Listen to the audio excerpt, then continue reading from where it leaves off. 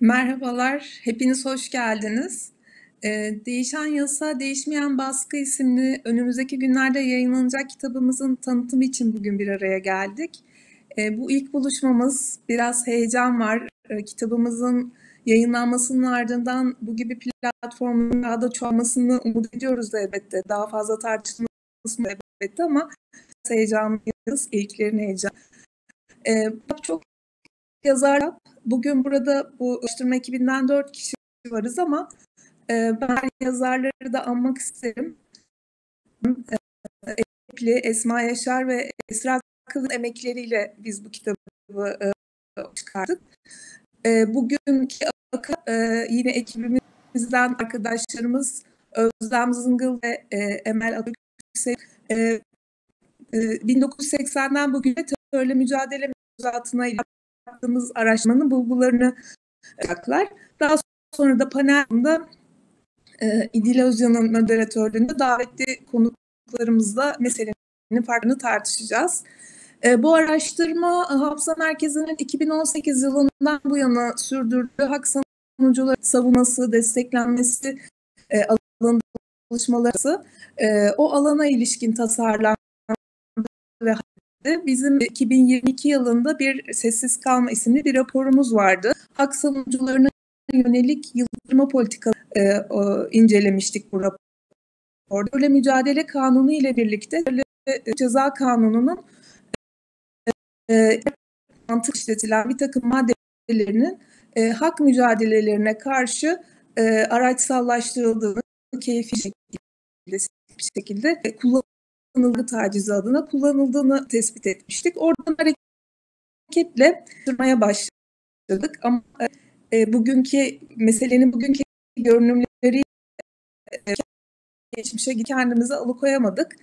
Yasanın tarihi olan 1991 yılında e, e, bu yana kurulduğu e, 12 Eylül darbe sisteminin ruhunu anlamaya e, biraz çalıştık. Oradan başladık e, çalışmamızı o, o zaman bir hat çizmeye ve göstermeye gayret etti. Şimdi arkadaşlıklarıyla buna ilişkin aktarda bulunacaklar. Ee, asıl olarak gerçekten e, hani e, belli platformlarda da e, anlamda hani bu meselenin altının doldurulduğunu düşünüyoruz. Umarım bu bir tartışma sözü özlem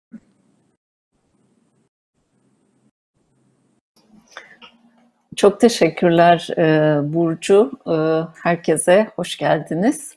Burcu'nun e, bahsettiği gibi sivil alanın daral, daralması ve hak savunucularına yönelen baskı ve müdahaleler denildiğinde ön, öne çıkan yöntemlerden birinin yargısal taciz olduğunu hem biz bir önceki çalışmamızda görmüştük hem de bu alanda yapılan çalışmaların tamamında işaret ediliyordu.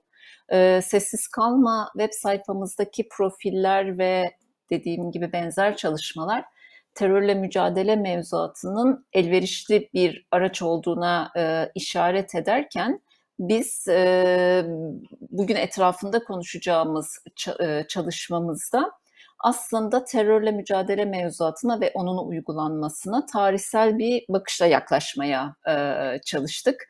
Sizinle e, araştırma konumuz, yöntemimiz ve bazı örüntülerden bahsedip sözü Emel'e ulaştığımız sonuçları paylaşmak e, üzere bırakacağım.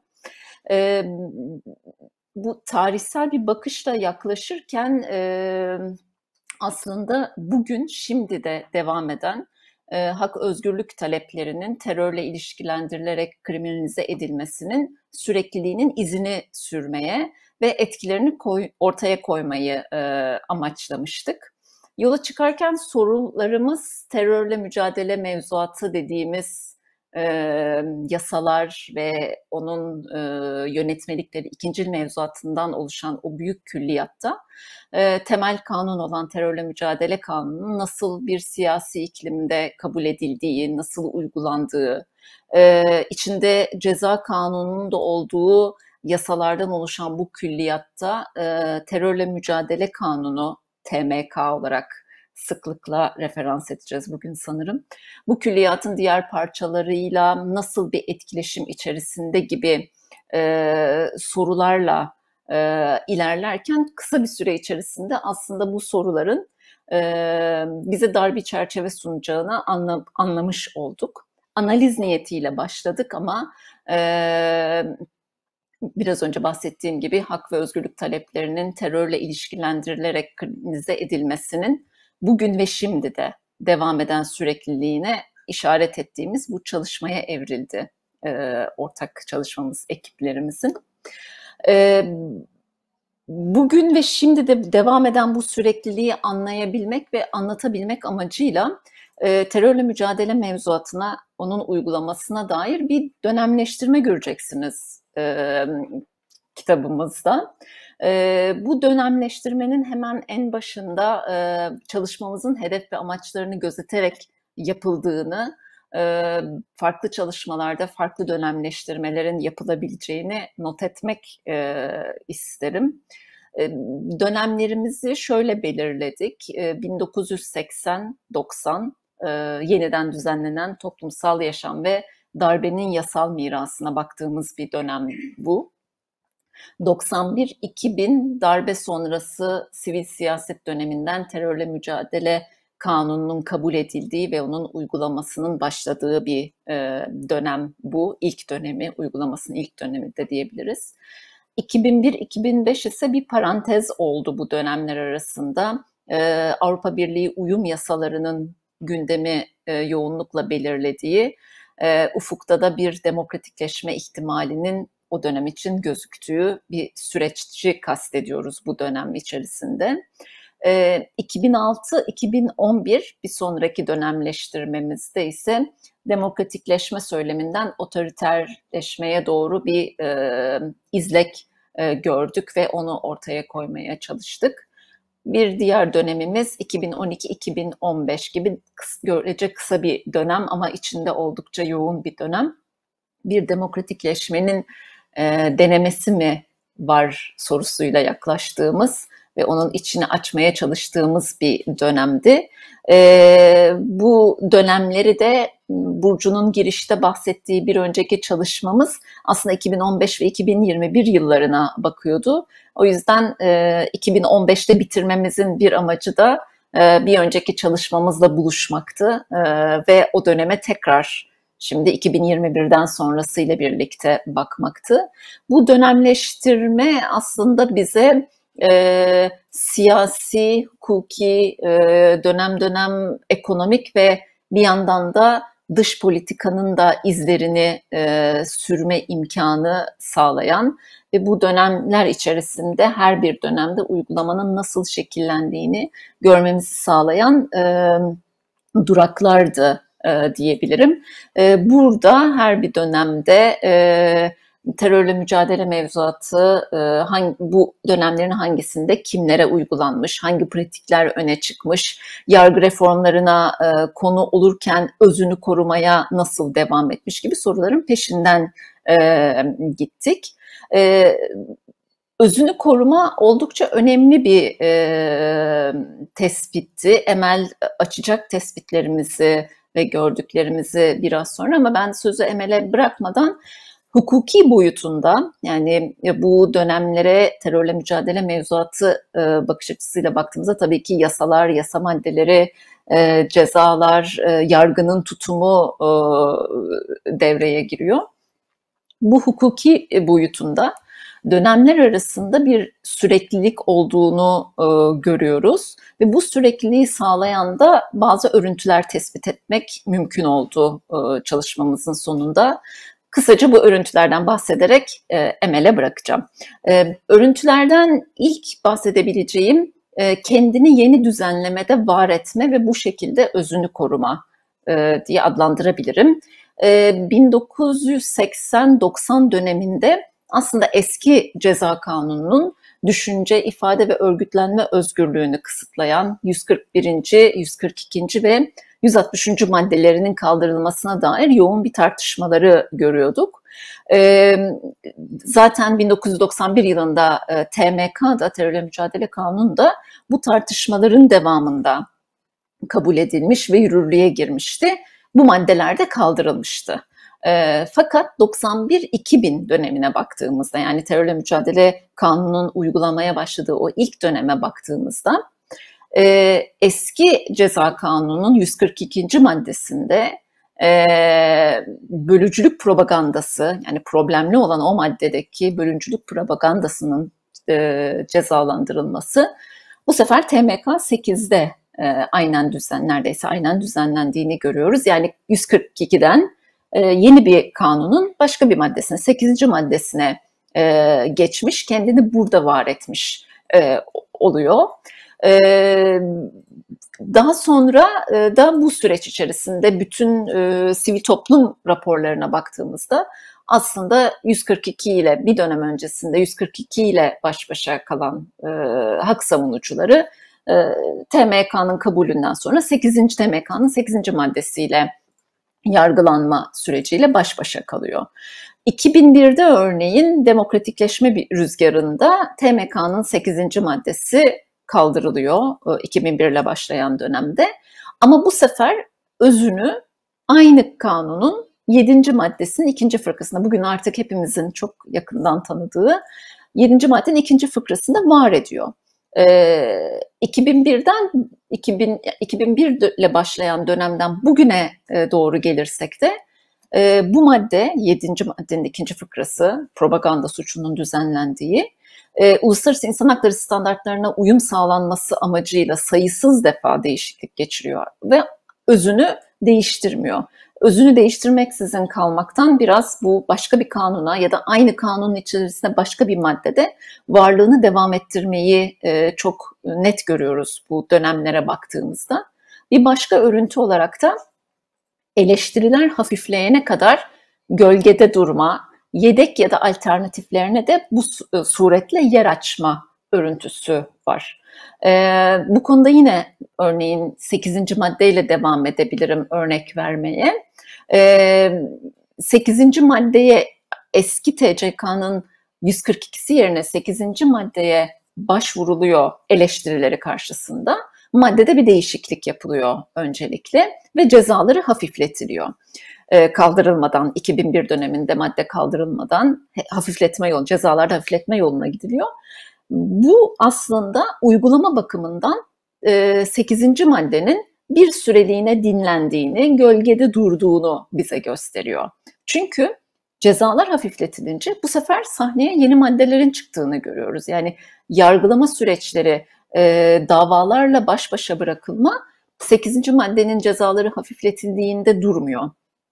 E, 91-2000 yılları arasındaki e, İHAD ve TİHİV raporlarına baktığımızda, insan hakları, insan hakları raporlarına baktığımızda bu sefer e, eski TCK'nın 312. maddesinde düzenlenen bugün de yakından bildiğimiz halkı kim ve düşmanlığa tahrik suçunun yine eski ceza kanununun 168 ve 169. maddelerine düzenlenen yasa dışı örgüte üye olma veya yardım etme suçunun sıklıkla kullanıldığını, böyle bir eğilime yönelindiğini görüyoruz.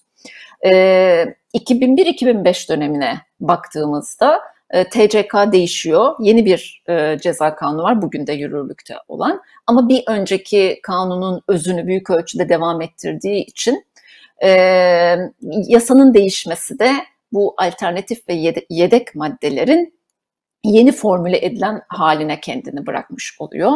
bu yani TCK'nın 312. maddesi değil 216. maddesinin görüyoruz bu sefer. Son bir örüntü olarak da yıldızı parlayanlar diyebileceğimiz bir örüntü var. E, bu tüm bir diğer e, örüntüler olarak saydığım kendini yeni düzenlemede var etme ya da eleştiriler hafifleyene kadar kenarda durma, gölgede durma e, devredeyken bir yandan da yıldızı parlayanlar olabiliyor. E, bazı dönemlerde bazı maddelerin e, deyim yerindeyse yıldızı parlamış oluyor. TCK Ceza Kanunu 301. maddesi bunun önemli bir örneği. 2005 yılından sonra baktığımızda e, önceki yıllarla karşılaştırılmayacak. Yani bir önceki Ceza Kanunu 159. maddesindeki e, var olduğu dönemde karşılaştırılmayacak kadar sık başvurulduğunu görüyoruz. Son bir böylesi örnek ise terörle mücadele kanununun 6. maddesinin ilk fıkrası terörle mücadelede görev almış kamu görevlilerini hedef gösterme. E, terörle mücadele kanununun kabul edildiği ilk günden beri var olan bu madde ilk dönemlerde e, yoğunlukla basına e, yönelik kullanılıyor. E, bu dönemde e, yaptırımı para cezası, para cezası olarak e, kullanılıyor ama daha sonra yaptırım e, hapis cezası olarak e, değişiyor ve e, çok yakın zamana kadar e, böylesi bir sık kullanımının olmadığı süreçten bugün e, neredeyse yargı mensuplarının e, hiçbir kararının eleştirilemeyeceği güne e, geliyoruz. O yüzden bu dönemin, yakın dönemin yıldızı parlayanlarından birinin de TMK 6 e, ve ilk fıkrası olduğunu e, örnek olarak verebilirim. Hemen sanırım ben buradan esas meselemiz e, ulaştığımız sonuçlara e, için sana bırakıyorum sözü. Çok teşekkür ederim. Ee, ben de e, konuşmacılarımıza ve katılan herkese teşekkür ederek başlamış olayım. E, TMK mevzuatı bakımından 80'ler, 90'lar ve 2000'lerin ayrışan ve e, ortaklaşan noktalarına hızlıca baktığımızda şunları söylemek mümkün. E, 12 Eylül'de darbe sonrası e, yüz binlerce kişi gözaltına alındı. İşkenceler, kapatılan siyasi partiler, dernekler, vakıflar, tutuklanan genel başkanlar, e, lağvedilen anayasa ve yasalar son derece sistematik ve e, yaygın bir e, politik şiddet e, uygulandı. Bu yaygın şiddetin temel amacının suskun ve itaatkar bir toplum dizayn etmek olduğunda herhalde e, hepimiz e, ortaklaşırız. E, bunun için bütün yasalar değiştirildi. E, anayasadan başlayarak siyasi partiler kanunu, sendikalar kanunu, TRT kanunu, toplantı ve gösteri yürüyüşleri kanunu gibi bugün toplumsal yaşayışımızı e, e, etkileyen neredeyse e, bütün yasalar, 669'dan fazla yasa e, darbeden sonraki ilk 3 yıl içinde ya yeniden yazıldı, yapılandırıldı baskıcı bir karakterle ya da sıfırdan hazırlanarak yürürlüğe sokuldu. Milli birlik ve beka e, e, retoriği bu yasaların e, e, gerek amaç maddelerinde gerek bünyesinde e, ilk defa e, son derece sık bir şekilde e, kullanıldı. Fakat e, bu baskı 80'lerin sonuna doğru sürdürülemez e, hale geldi. E, dışarıda Avrupa Konseyi ile ilişkiler zorlaştı. İçeride de cezaevlerinde hala binlerce politik mahkum vardı. E, işkenceler, açlık grevleri e, söz konusuydu ve ailelerin oluşturduğu e, bir dayanışma ağı etrafında e, e, bir e, bir büyük insan hakları hareketi şekillenmeye başladı. Türkiye'nin bugün bildiğimiz en köklü insan hakları kuruluşları, İnsan Hakları Derneği gibi, Türkiye İnsan Hakları Vakfı gibi bu dönemlerde kuruldu. 80'ler 90'lara bağlanırken 1991 yılında terörle mücadele kanunu bu arka plan içinde çıkarıldı. 90'lı yıllarda da hepimiz biliyoruz. Türkiye bir yandan Avrupa Konseyi ile ilişkileri düzeltmeye, uluslararası imajını düzeltmeye çalıştı. Öte yandan da e, mesela işte AHİM'in yargı yetkisini kabul etti, Paris şartını imzaladı. Fakat öte yandan da içeride e, o hal bölgesinde Kürtleri hedef alan muazzam bir bir e, şiddet e, uygulanmaya başlandı. E, bir yandan zorla kaybetmeler, hukuk dışı ve keyfi infazlar hem sol muhaliflere hem de Kürtleri hedef alarak gittikçe yaygınlaştı hak savunucuları, gazeteciler, siviller terörle mücadelede e, mücadele adına hedef alındılar ve e, bazıları yaşamlarını kaybetti. Bir kısmı da uzun yıllara yayılan yargılamaların e, mağdurları oldular. E, JITEM gibi, Susurluk gibi e, bir takım karanlık yapılar e, sahne aldı. E, sonra yıllar 2000'lere bağlandı ve Türkiye 2000'lerde 100 yıllık Cumhuriyet tarihinin en uzun iktidarda kalan partisiyle tanıştı. İlk yıllarda e, tam demokrasi, hukuk, Kürt, Alevi meselesinde açılım gibi vaatlerde bulunan ve mesela ölüm cezasının kaldırılması, 90. maddenin kabulü, bazı uluslararası sözleşmelerin imzalanması gibi olumlu e, adımlar da atan iktidar sonraki yıllarda hukuk ve insan hakları alanında yıkım yaratan politikalara imza attı. Sonuçta 80'ler, 90'lar ve 2000'lere e, baktığımızda e, toplumu genel olarak terörize etmeyi amaçladığı açık olan e, büyük ölçekli olaylarda mesela Sivas, Çorum, Maraş e, katliamları gibi ya da Jitem, Susurluk gibi derin yapılar e, ra, e, ilgili olarak terörle mücadele mevzuatının faillere ve hiçbir zaman uygulanmadığını, buna mukabil e, e, hak savunucularına, gazetecilere, e, bütün muhaliflere terörle mücadele mevzuatının e, çok yaygın bir şekilde uygulandığını görüyoruz. Peki bütün bu yıllarda terör konsepti nasıl bir evrim geçirdiğe bakarsak neler söylenebilir? E, herhalde ilk söylenmesi gereken şey suçlamaların ve cezaların e, döneme, politik konjonktüre, ittifaklara, jeopolitik bağlama ve menfaatlere göre değiştiği aynı fiil, aynı ifade bir dönemde hiçbir şekilde suçlama konusu olmazken bütün bu e, kriterlere e, bağlı olarak başka bazı dönemlerde en ağır cezalara e, çarptırılı, çarp, çarptırılabiliyordu. E, gördüğüm şeylerden biri buydu. E, İkincisi ve en önemli şeylerden bir tanesi de anayasal ve sözleşmesel haklar yani e, e, uluslararası sözleşmelerde ve anayasada tanımlı meşru hak ve özgürlüklerin kullanımının gittikçe daha çok terör suçlarıyla ilişkilendirilmesi ve bu aradaki farkın giderek bulanıklaşmasıydı. 80'ler ve 90'larda 2000'lere göre hukuksal normlar öyle ya da böyle biraz daha geçerli.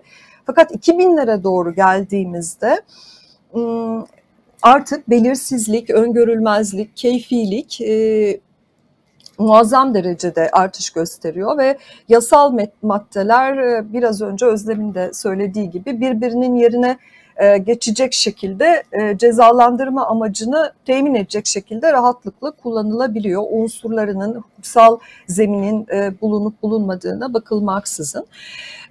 Zaten tüm zamanlarda düzenli olarak teröristlikle yaftalanan kesimler var. Mesela sivil toplum kuruluşlarının temsilcileri gibi muhalifler, hak savunucuları, gazeteciler, LGBTİ artı dünyanın mensupları gibi, hareketin mensupları gibi. Fakat 2000'lere geldiğimizde ee, örneğin stokçuluk yapan esnaf ya da e, hesabını dövizden Türk lirasına çevirmeyi reddeden e, sıradan kişilerin, vatandaşların e, terörizmle e, ilişkili e, olarak suçlandıklarını görüyoruz. 8 e, yargı paketi çıkarıldı bugüne kadar. Hiçbiri hiçbir işe yaramadı. Ee, evet biliyoruz terörle mücadele yasaları kusurlu, e, uluslararası standartlara uygun değil ve biz hukukçular, hak savunuculara yıllardır bunun mücadelesini veriyoruz. Bu konuda onlarca rapor var. Elbette bu kusurların giderilmesi son derece önemli ama esas mesele e, yasalar kusursuz olsa da idari ve yargısal mercilerin yasaları uygulamamakta ayak diremesi e, ve zihniyet yapıları. Sebepleri bunun tabii ki muhtelif bu meselelerin zaman yeterse tartışırız. Ee, ama bir örnek vereyim. E, terörle mücadele kanunu 2013 ve 2019'da iki kez değişti. E, haber ve eleştiri sınırı içindeki ifadeler suç olmaktan çıkarıldı. Ama değişiklikler hiçbir şekilde uygulanmadı. Bu madde olmuyorsa başka bir maddeden cezalandırmanın bir yolu bulundu. Özgür Gündem Dayanışma Genel Yayın Yönetmenleriyle ilgili davalar bunun e, çok iyi e, örneğidir.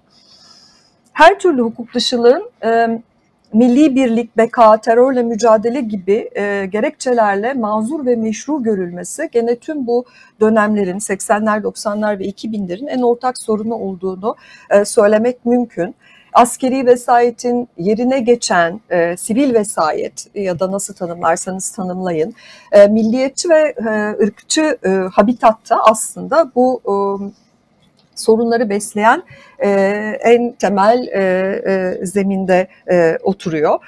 E, sorun değil, e, sorun e, yerel değil, küresel aslında tamamen farkındayız. E, neoliberal politikaların belirlediği büyük bir e, hukuk ve insan hakları e, krizi var. E, bugün dünyada nüfusun sadece yüzde iki civarında bir kısmı özgürlüklere, sivil özgürlüklere saygı duyulan açık ülkelerde yaşıyor. Geri kalan ülkeler baskıcı rejimler altında ve ülkelerin büyük bir kısmı artık bilinen, öngörülen, e, görülebilir kanunlarla değil, e, tamamen belirsizliğin hakim olduğu bir alanda kanun hükmünde kararnamelerle yönetiliyor, Türkiye dahil. E, dünya ülkelerinin insan hakları karnesi o kadar kötü ki e, birbirlerine söyleyecekleri hiçbir sözün e, hiçbir ciddiyeti kalmadı. E, sığınmacılar dahil her şey bir pazarlık konusu. Ee, Birleşmiş Milletler e, ahim gibi küresel ve bölgesel e, mekanizmaların içi boşalmış, etosu zayıflamış durumda. Ee, ve fakat e, bütün bunlara rağmen biz insan hakları savunucularının hak ve özgürlükleri savunmaktan ve devlete hukuk devleti çerçevesinde anayasal ve sözleşmesel sorumluluklarını hatırlatmaktan e, başka bir çaresi de yok. E, ve sonuç olarak e, şunları söyleyerek bitireyim. Bu toplantının vesilesi olan araştırmamız akademik bir çalışma değil. Bunun altını çizmek isteriz. meselelere ilişkin bütün soruları cevaplandırma iddiası taşımıyor. temel arzumuz aslında terörle mücadele mevzuatının bu kadar geniş, keyfi ve öngörülemez bir şekilde uygulanmasının herkesin ne kadar kolayca terörle e, ilişkili e, ne kadar kolay bu zemine çekilebileceğini ortaya koymaktı. E, bu ülke geçmişte e, başbakanlarını, bakanlarını e, anayasayı ihlalden, kaosa sebebiyet vermekten yargılayıp idam etmiş ve sonra da e, iade itibarla onlara anıt mezar yaptırarak devlet töreniyle defnetmiş bir ülke. E, çok farklı kesimler bu mevzuatların kül, kül olarak kastediyorum e, hedefi ve mağduru oldular. E, dolayısıyla meselenin ne kadar devasa bir mesele olduğunu ve ne kadar farklı kesimlere hedef alabildiğini e, görmek gerekir. E, mesele bir mevzuat sorunu değil, o nedenle reformlar yapılınca da çözülmüyor ve çözülmeyecek.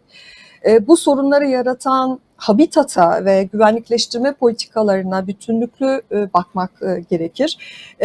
Umarız çalışmamız böyle bir bakışa katkıda bulunmuştur. Çok teşekkür ediyorum. İdil, buyurun. Evet, Emel ve Özlem'den sonra, onların araştırmaya dair aktarımlarından sonra e, şimdi e, panelle devam ediyoruz. E, hepimiz çok heyecanlıyız gerçekten. Uzun soluklu bir çalışmanın ürünlerini bugün paylaşıyoruz sizinle. Ve yine uzun süredir Türkiye'deki insan hakları mücadelesinin parçası olan çok değerli konuklarla beraberiz.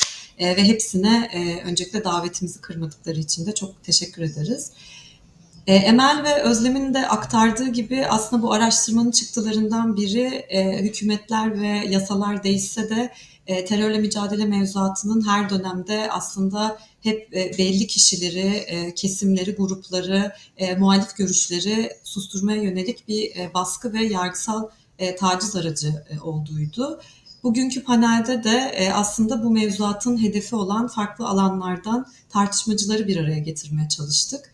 E, bugün konuklarımız e, bir yandan avukat, gazeteci, akademisyen gibi kimlikleriyle e, mesleki perspektiflerini sunacaklar. Ama aynı zamanda terörle mücadele mevzuatının suistimal edildiği yargılamalara dair kişisel tecrübelerini ve tanıklıklarını da dinleyeceğiz. Bugün yine süre kısıtı nedeniyle yer veremediğimiz ama bu mevzuatın hedefi olduğunu bildiğimiz başka alanlar da var. E, ve Burcu'nun başta da söylediği gibi e, sonbahardan itibaren de yeni etkinliklerle e, bu konuları tartışmaya devam etmeyi umuyoruz.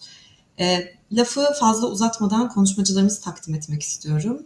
E, ilk e, konuşmacımız e, avukat hak savunucusu Eren Keskin.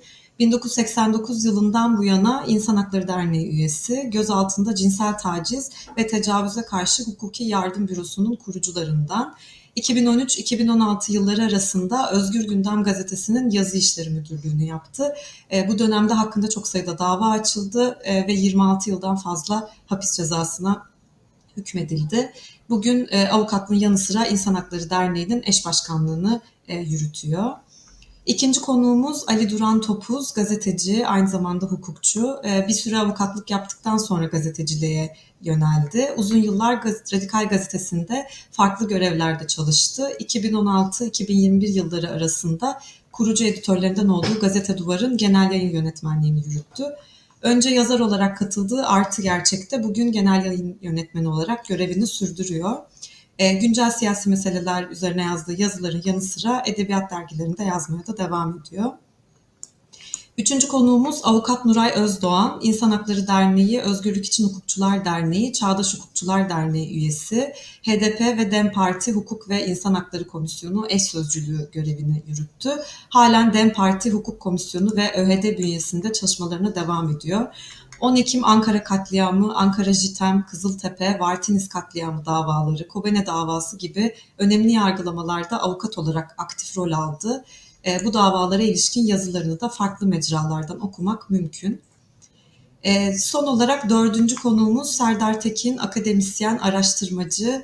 Doktorasını siyaset kuramı alanında tamamladı. Bu suça ortak olmayacağız başlıklı barış bildirisini imzaladığı için o dönem öğretim üyesi olduğu Ege Üniversitesi'nden ihraç edildi.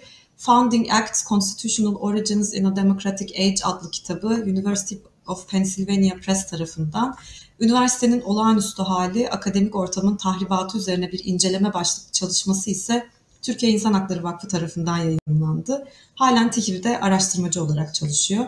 Hepiniz tekrar hoş geldiniz. Ee, ilk olarak e, Eren Hanım'la başlayacağız. E, terörle mücadele mevzuatı 1980'den bugüne hak savunucularına ve insan hakları kurumlarına karşı nasıl kullanıldı? Bu kurumlar ne gibi suçlamalarla, e, ne gibi yargı süreçleriyle karşı karşıya kaldı? E, hem aslında e, bu suçlamaların bizzat e, muhatabı olmuş bir kişi olarak hem de e, bu tarz davalarda e, savunmanlık yapmış biri olarak siz bu dönemleri ve uygulamaları nasıl değerlendiriyorsunuz? E, tabii ki biz e, bu tartışmada 1980 ve sonrasını konuşacağız ama ben Türkiye Cumhuriyeti Devleti'nin kuruluş ideolojisinin e, her zaman belirleyici olduğunu düşünüyorum. Yani bir soykırım coğrafyasında yaşıyoruz e, ve e, soykırımcı zihniyetini kurduğu bir hukuk sistemi var. Yani Türk Cumhur Türkiye Cumhuriyeti Devleti'nin hukuk e, yapıcısı Mahmut Esat Bozkurt'un e, ne kadar ırkçı söylemlere sahip olduğunu, zihniyetinin de yazılı hukuka da yansıdığını çok iyi biliyoruz. O nedenle aslında bir bütün olarak e, konuşmak daha mantıklı ama süremiz sınırlı olduğu için bugün 80'lerden sonrasını tartışacağız. Benim insan hakları hareketine e, girişim 89 yılında oldu. Tabii 86 kuruluşundan itibaren İHA'denin çalışmalarda yer aldım ama esas olarak etkin biçimde var olmam 1989'da başladı. O tarihlerde sizlerin de e, konuşmalarınızda söylediğiniz gibi e, 141, 142, 163. maddeler çok tartışılıyordu oldu. Çünkü muhaliflere yönelik en çok uygulanan maddeler bunlardı. Ama burada e, başlangıçta da söylemem gerektiğini düşünüyorum da yani Türkiye Cumhuriyeti Devleti'nin e, son derece ayrımcı bir hukuk sistemi ve uygulaması var ama maalesef ki e, Türkiye Cumhuriyeti Devleti'nin sınırları içinde yaşayan ve kendilerine muhalif diyenlerin de çok büyük çifte standartları var. Yani aynı resmi ideoloji, aynı iddiatçı anlayış, e, muhaliflerin de çok büyük bir bölümünü belirlediği için e, tartışmalar da eksik yapılıyor. Evet 141, 142, 163 çok tartışıldı bir dönem ama 125 tartışılmadı mesela. E, ön kabulle herkes kabul ediyordu. Çünkü 125 Kürtlere uygulanıyordu. Şimdi bizim e, tabii yakıcı biçimde e, yani hukuk sisteminin bize yönelmesini yakıcı biçimde hissettiğimiz insan hakları savunucuları olarak 1990 yılı İnsan Hakları Derneği Kongresi, Genel Merkez Kongresi oldu. O tarihlerde 2932 sayılı yasa vardı. Aslında Kürtçeyi yasaklamıyordu metninde, öyle bir metni yoktu ama Türkçeden başka dilleri kastediyordu. Fakat o tarihte bizim genel kurulumuzda sevgili Vedat Aydın, e, herkesi e, şoke edecek biçimde çünkü o zaman Kürtçe konuşmak bir genel kurulda son derece şoke edici bir şeydi ve Vedat Aydın içeriği de gayet radikal olan Kürtçe bir konuşma yaptı ve ardından gözaltına alınarak tutuklandı. Ve biz 2932 yasa, yasayı böylece çarpıcı bir biçimde öğrendik ve bizlere uygulanacağını öğrendik. Ama o tarihlerde Vedat Aydın'ın dik duruşu, duruşmalardaki tavrı, bir kamuoyu oluşması etkiledi sanıyorum. İlk duruşmada tahliye oldu Vedat Aydın ve bir süre sonra da 2938 sayılı yasa bir zaman sonra zaten kaldırıldı. Ama bizim için 90'ların çok korkutucu süreçleri başladı. Şimdi ben devlet aklının hiç değişmediğini düşünüyorum. Devlet aklı hiç değişmedi ama yöntemleri değişti.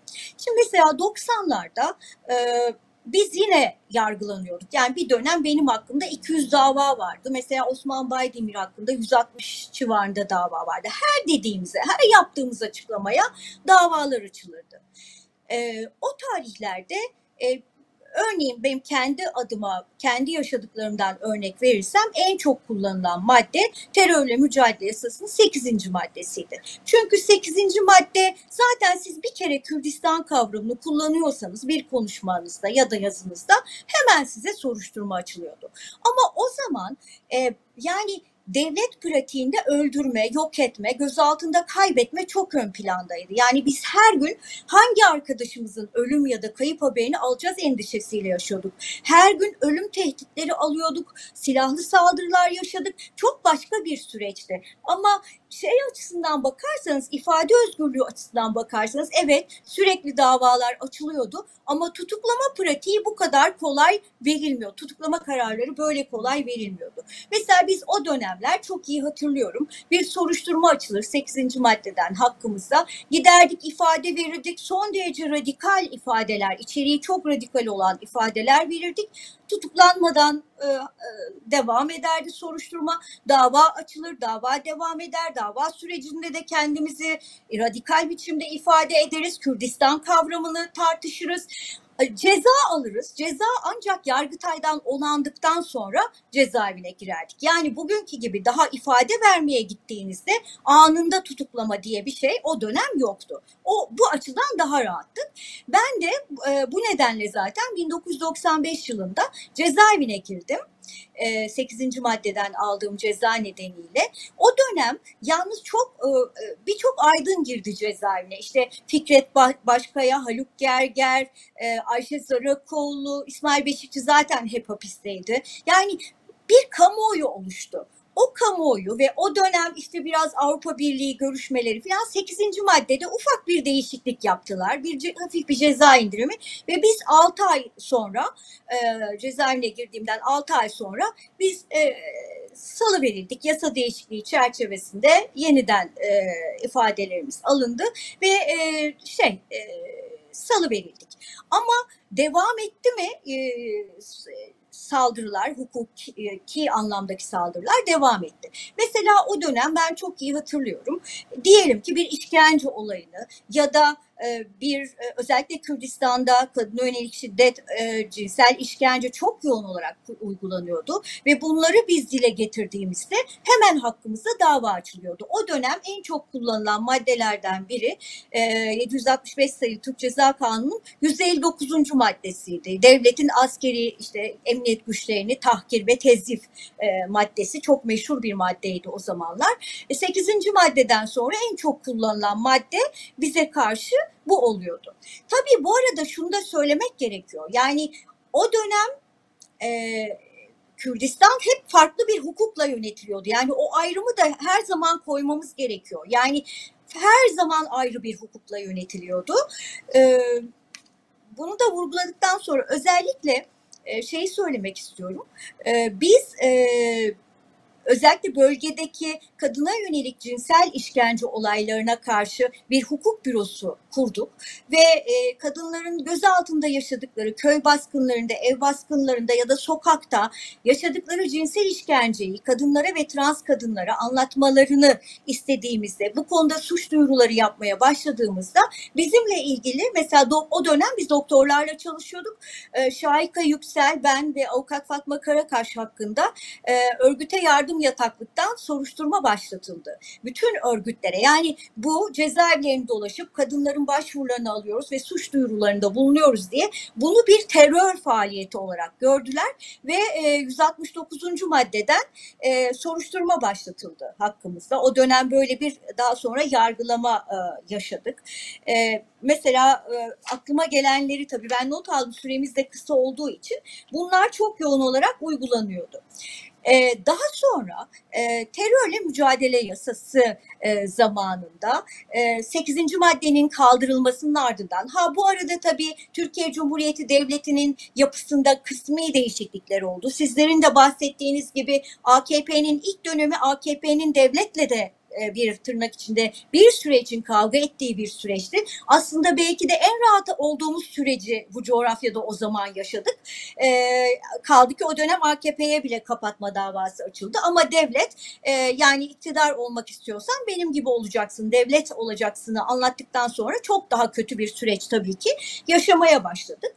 E, ve e, terörle mücadele yasasının bir süre sonra 8. maddesi çok fazla tartışıldığı için ve biraz hala Avrupa Birliği sürecinin etkisinin de varlığı nedeniyle kaldırıldı. Ama ne oldu? Yani şunu biz çok iyi biliyoruz. Türkiye'de istediğiniz kadar siz yasaları değiştirin, bazı yasaları kaldırın. Türkiye Cumhuriyeti Devleti yargısının her zaman kullanacağı yasalar vardır ellerinde. Ne oldu? Daha sonra terörle mücadele yasasının 7. maddesini kullanmaya başladılar. Aynı yöntemle e, bu devam etti. E, bunun dışında TCK'nın değişmesinden sonra bir başka yasada insan hakları savunucularına, sivil toplum örgütlerine yönelik kullanılan bir başka yasada 301. madde oldu. Yani önce Türklüğe hakaret sonra bir takım değişiklikler yaptılar. Burada yalnız ilginç bir ayrıntıya ben değinmek istiyorum. Şimdi 301. maddeden Örneğin Ermeni soykırımı nedeniyle ki biz 2005 yılından itibaren İnsan Hakları Derneği olarak düzenli olarak soykırımı af dile, tanı, tazmin et çağrısıyla e, açıklamalar yapıyoruz. Bu 2017 18 tarihine kadar sokakta biz bu açıklamaları yaptık ve hiçbir soruşturma açılmadı hakkımızda.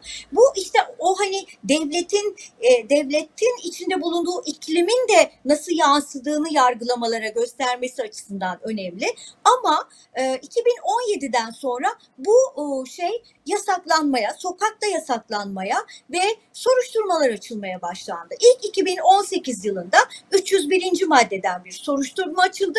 Ancak ifade özgürlüğü e, diye kabul edilerek savcılığın güzel bir hatta şeyiyle e, takipsizlik karar verildi. Ama bu soruşturmalar açılmaya devam etti. Şimdi bu konuda aslında e, bu yıl verilmiş bir iki ceza dışında ceza vermiyorlar. Bu da mesela çok ilginç. 301'den dava açıyorlar Ermeni soykırım nedeniyle ceza vermiyorlar ki bizim yakın zamanda böyle bir davamız oldu. Bunun da ben şu nedenle olduğunu düşünüyorum. Bu konunun çünkü konuşulması istemiyor Türkiye. Yani çok güçlü bir Ermeni cemaati var, e, diasporası var yurt dışında. Ermeni soykırımını tanıyan devletler var, tanımaya hazırlanan devletler var ve Ermeni soykırımı konusunda çok güçlü deliller var. Türkiye bu konunun tartışılması istemediği için de bence bu konuda çok cezalandırma yoluna gitmiyor. Ama bizim son yargılandığımız ve beraat ettiğimiz davada istinaf mahkemesine başvurdu savcılık. Bakalım tabii bunun sonuçlarını e, göreceğiz. E, şimdi şuna değinmek istiyorum. Yani e, bizler e, her dönem hukukun bu coğrafyada bağımlı olduğunu biliyoruz. E, biz e, çok uzun yıllar militarizme bağımlı Türk yargısından hep şikayet ettik. E, ve bunda da çok haklıydık. Bugün de bağımlı bir yargı var ama arada şöyle bir fark var. Evet militarizme bağımlıydı ama çeşitli merkezler vardı. Yargının içinde güç sahibi olan ya da sözleri geçen e, yani sonuçta askerlerin istediği oluyordu ama bu kadar tek merkezden bir gözetleme hakimler üzerinde bu kadar yoğun değildi ve bizim mesela e, hatta 2014-2015'lere kadar e, konuşabildiğimiz, kapısını çalabildiğimiz bir savcı, bir hakim bulabiliyorduk. Ama şimdi kesinlikle bunu bulamıyoruz. Mesela e, şu anda adliyelerde savcı ve hakim odaları özellikle siyasi davalar için söylüyorum tamamen e, savunma makamına kapalı durumda. E, bu çok önemli bir sorun savunma makamı açısından. E, bir bakıma söylersek savunma makamının tamamen yargılamanın dışına itilmeye çalışıldığı bir süreç yaşıyoruz. Biraz da e, şeyden söz etmek istiyorum çünkü bana sorulan sorular da vardı. Özgür Gündem'le ilgili süreçten. Şimdi ben e, Özgür Gündem gazetesinin ilk yayınlandığı zamandan beri e, o gazetenin avukatlığını yaptım ve e, o gazetenin öldürülen birçok yazarı başta Musa Amca olmak üzere hepsini tanıdım. Hepsiyle ortak anılarımız oldu. E, benim için ayrı bir önemi var Özgür Gündem gazetesinin. E, Gurbet Elle er, Ersöz'de çalıştık biz. O genel yayın yönetmeniydi ve biz gazetenin avukatlarıydık. Çok genç avukatlardık tabii hepimiz. Çok heyecanlıydık. Çok kızgındık yaşadıklarımız karşısında. Bu gazete sürekli baskı altındaydı ve sürekli kapatıldı, isim değiştirmek zorunda kaldı. Ve ben de e, 2013 yılında yeniden Özgür Gündem adıyla çıkmasına karar verilince bana teklif etti arkadaşlar. Ee, yani e, sadece dayanışma amacıyla genel yayın yönetmeni hanesine adını yazabilir miyiz diye severek kabul ettim bunu. E, aktif olarak tabii yapmadım ama şimdi örneğin barış süreci adı verilen süreçte hiç dava açılmıyordu Özgür Gündem gazetesine. Ama Özgür Gündem gazetesinin yayın politikası hep aynıydı. Hiç hiç dava soruşturma pardon açılmadı. Ancak barış sürecinin bitişiyle birlikte böyle bir soruşturma bombardımanı başladı. Biz her gün ifade vermeye gidiyoruz savcılığa. Ben bilmiyorum bile hangi yazılar için ben ifade veriyorum. Yani savcı bana söylüyor diyorum ki yani ben genel yayın yönetmeniyim tamam bu doğrudur ben genel yayın yönetmeniyim gazetenin diyorum. Artık savcı sürekli adli kontrole sevk ediyor. Sonunda artık 2016 e, yılıydı sanıyorum. Savcı bana şey dedi. Eren Hanım dedi artık adli kontrol yetmeyecek tutuklama talep edeceğim hakkınızda. Yani aslında adam da bundan rahatsız. Yani savcının ben gözünde onu hissettim bundan rahatsızlık duyduğunu. O dönem ben gazeteci arkadaşlarla görüştüm dedim artık beni değiştirin çünkü tutuklama kararı çıkacak. Sonra işte nöbetleşe e, şeye başlandı genel yayın yönetmenliğine ve çok sayıda dava açıldı. 143 dava açıldı benim hakkımda ve tabii ki evlerimiz basıldı, e, tutuklanan arkadaşlarımız oldu. Ben adli kontrolle bırakıldım ve bize yani düşünebiliyor musunuz? E, 302'den dava açıldı. Biz önce şeyle yargılanmaya başlandık. Müebbet hapis sistemiyle yargılanmaya başlandık. Yani e, akıl almaz bir şekilde, akıl almaz bir şekilde e, bu şekilde yargılanmaya başlandık. 15 Temmuz'un tabii ki korkunç etkilerini biz bu davada çok yoğun yaşadık. Daha sonra suç vasfı değişti e, ve çok ilginç bir şekilde gazetede yargılanan Türk aydınları bir şekilde ayrıldı bu davadan. Birçoğu beraat etti ve sadece sadece Kürt olan genel yayın yönetmeni, yazar, yazı işleri müdürü arkadaşlarımıza silahlı örgüt üyeliğinden ceza verildi. Biz şu anda silahlı örgüt üyesi olarak ceza almış durumdayız. Ee, Toplam birleştirilen davalarla birlikte 125 davaya düştü. Benim üyelikten, örgüt propagandasından, Cumhurbaşkanına hakaretten, çok sayıda davadan aldığım 26 yıl 9 ay hapis cezası var. 8 yıldır yurt dışına çıkamıyorum. Yurt dışı yasağım var. Ee, bunun dışında 600 bine sanıyorum tam miktarı hatırlamıyorum ama yakın bir para cezası verildi. Bu para cezalarını ödemediğiniz takdirde hapse dönüştüğü için e, Tabii ki insan hakları örgütlerinin dayanışmasıyla taksitle biz bunları ödedik. Şu anda da Yargıtay'da Yargıtay savcısı bizim cezamızın onanması istedi. Yani şunu yapıyorlar. Her an sizi bu tedirginlikle yaşamak durumunda bırakıyorlar. Ama ben bu arada son olarak şuna da değinmek istiyorum. Ee, şimdi bugün sadece düşünceleri nedeniyle cezaevlerinde olan çok fazla insan var. Ama e, yani devlet zaten çok korkunç bir devlet yapısıyla karşı karşıyayız. Bu konuda hiçbir şey yok. Hele ki açık açık işlenmiş bir cinayetin faillerinin iktidar ortağı olduğu bir süreçte artık biz neden bahsedeceğiz? Ama e, bu arada e, hem e, muhalefetin çifte standartlarının da bunda etkisi olduğunu düşündüğümü söylemek istiyorum. Hem de Avrupa Birliği'nin. Çünkü Türkiye Cumhuriyeti birçok uluslararası sözleşmenin tarafı ve bu sözleşmelerdeki imza ortakları Avrupa Birliği üyeleri Türkiye bütün sözleşmeleri ihlal ediyor. Bu sözleşmelerin denetim mekanizmaları var. Türkiye'ye karşı işletilmiyor ya da yeterince işletilmiyor diyeyim. Yani Avrupa Birliği de bu suskunluğuyla e, Türkiye'ye güç veriyor. Bütün bunların da ben bu süreçler değerlendirilirken birlikte değerlendirilmesi gerektiğini düşünüyorum. Teşekkür ederim. Çok teşekkürler Eren Hanım. Ee, gerçekten e, değişen konjonktürle beraber e, yükselen, alçalan e, ve işte bu yıldız parlayan diye de tabir ettiğimiz nasıl farklı maddelerin e, uygulandığını ya da uygulanmadığını e, da çok iyi bir e, özetini vermiş oldunuz. E, bu sonda özellikle bahsettiğiniz e, Avrupa Birliği e, meselesini belki soru cevapta da e, biraz daha fazla e, açabiliriz. E, bu vesileyle de onu hatırlatmış olayım. E, YouTube'da canlı yayında e, kenarda yazdığınız soruları e, arkadaşlar derliyorlar. Panelin sonunda e, bir soru cevap kısmı da e, yapacağız. E, ben buradan Ali Bey'le devam etmek istiyorum. E, terörle mücadele mevzuatının 80'lerden, 90'larda, 2000'lerde e, gazeteler, yayın evleri, radyolar, dijital basın gibi e, farklı mecralar üzerinde e, bir baskı aracı olarak e, kullanıldığını gördük, e, görüyoruz. E, siz bu farklı dönemleri yaşamış ve e, farklı mecralarda çalışmış bir gazeteci olarak e, geçmişe ve bugüne dair neler söylersiniz?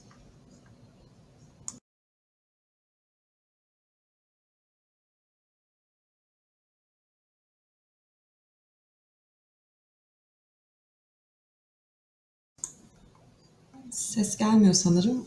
Bir tek bende mi sorun? Geliyor mu şimdi?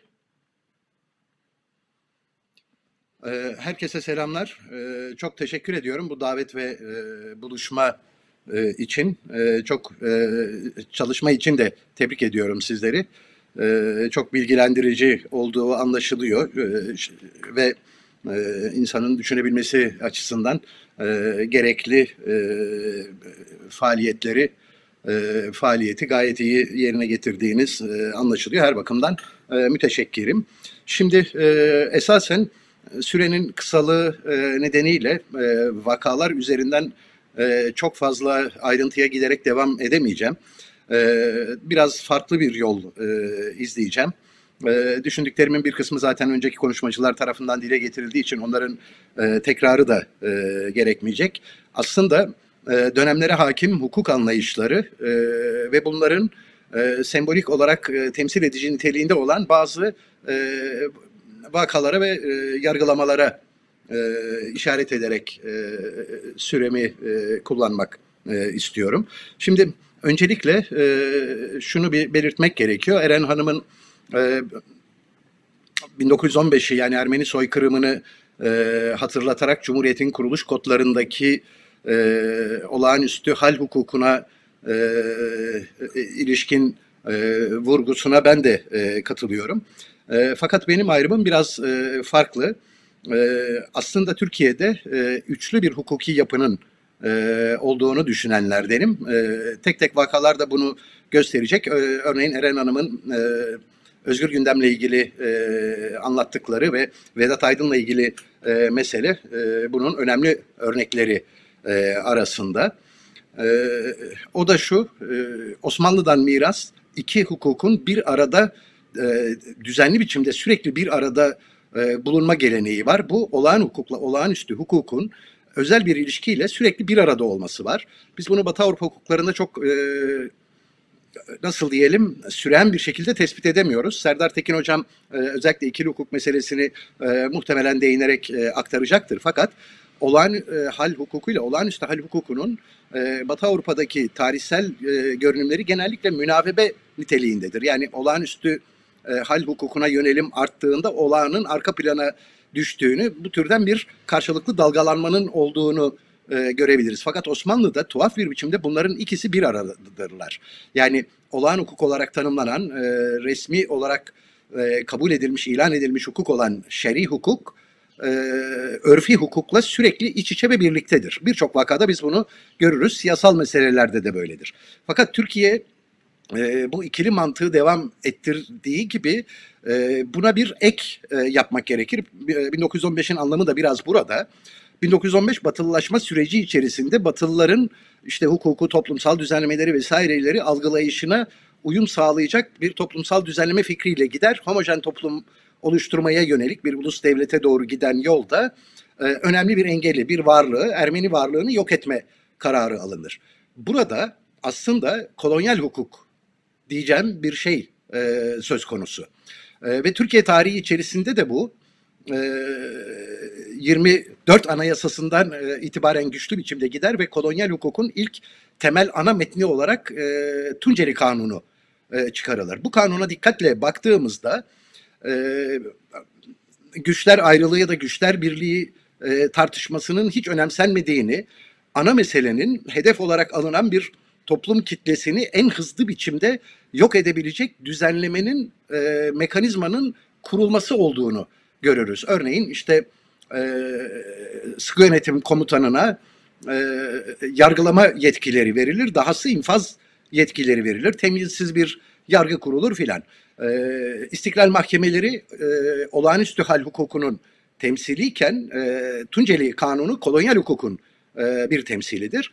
E, terörle mücadele kanunu da aslında e, 80'de e, darbede e, olağanüstü e, hal hukukuyla Türkiye yönetilmeye başlandığında darbe koşullarında biz fikir özgürlüğü açısından e, fikir ve örgütlenme özgürlüğünü ortadan kaldıracak, e, bunları yok edecek müdahaleler e, görürdük. Fakat e, yine işkencenin olduğu bir dönemdi. Fakat bu dönemin bir özelliği olağanüstü hal hukuku uygulanmış olmasına rağmen legalizm kaygısıydı. O dönemdeki işkencenin yaygınlığı örneğin e, delil elde etmek yani mahkeme kararlarını e, delillendirebilmek için e,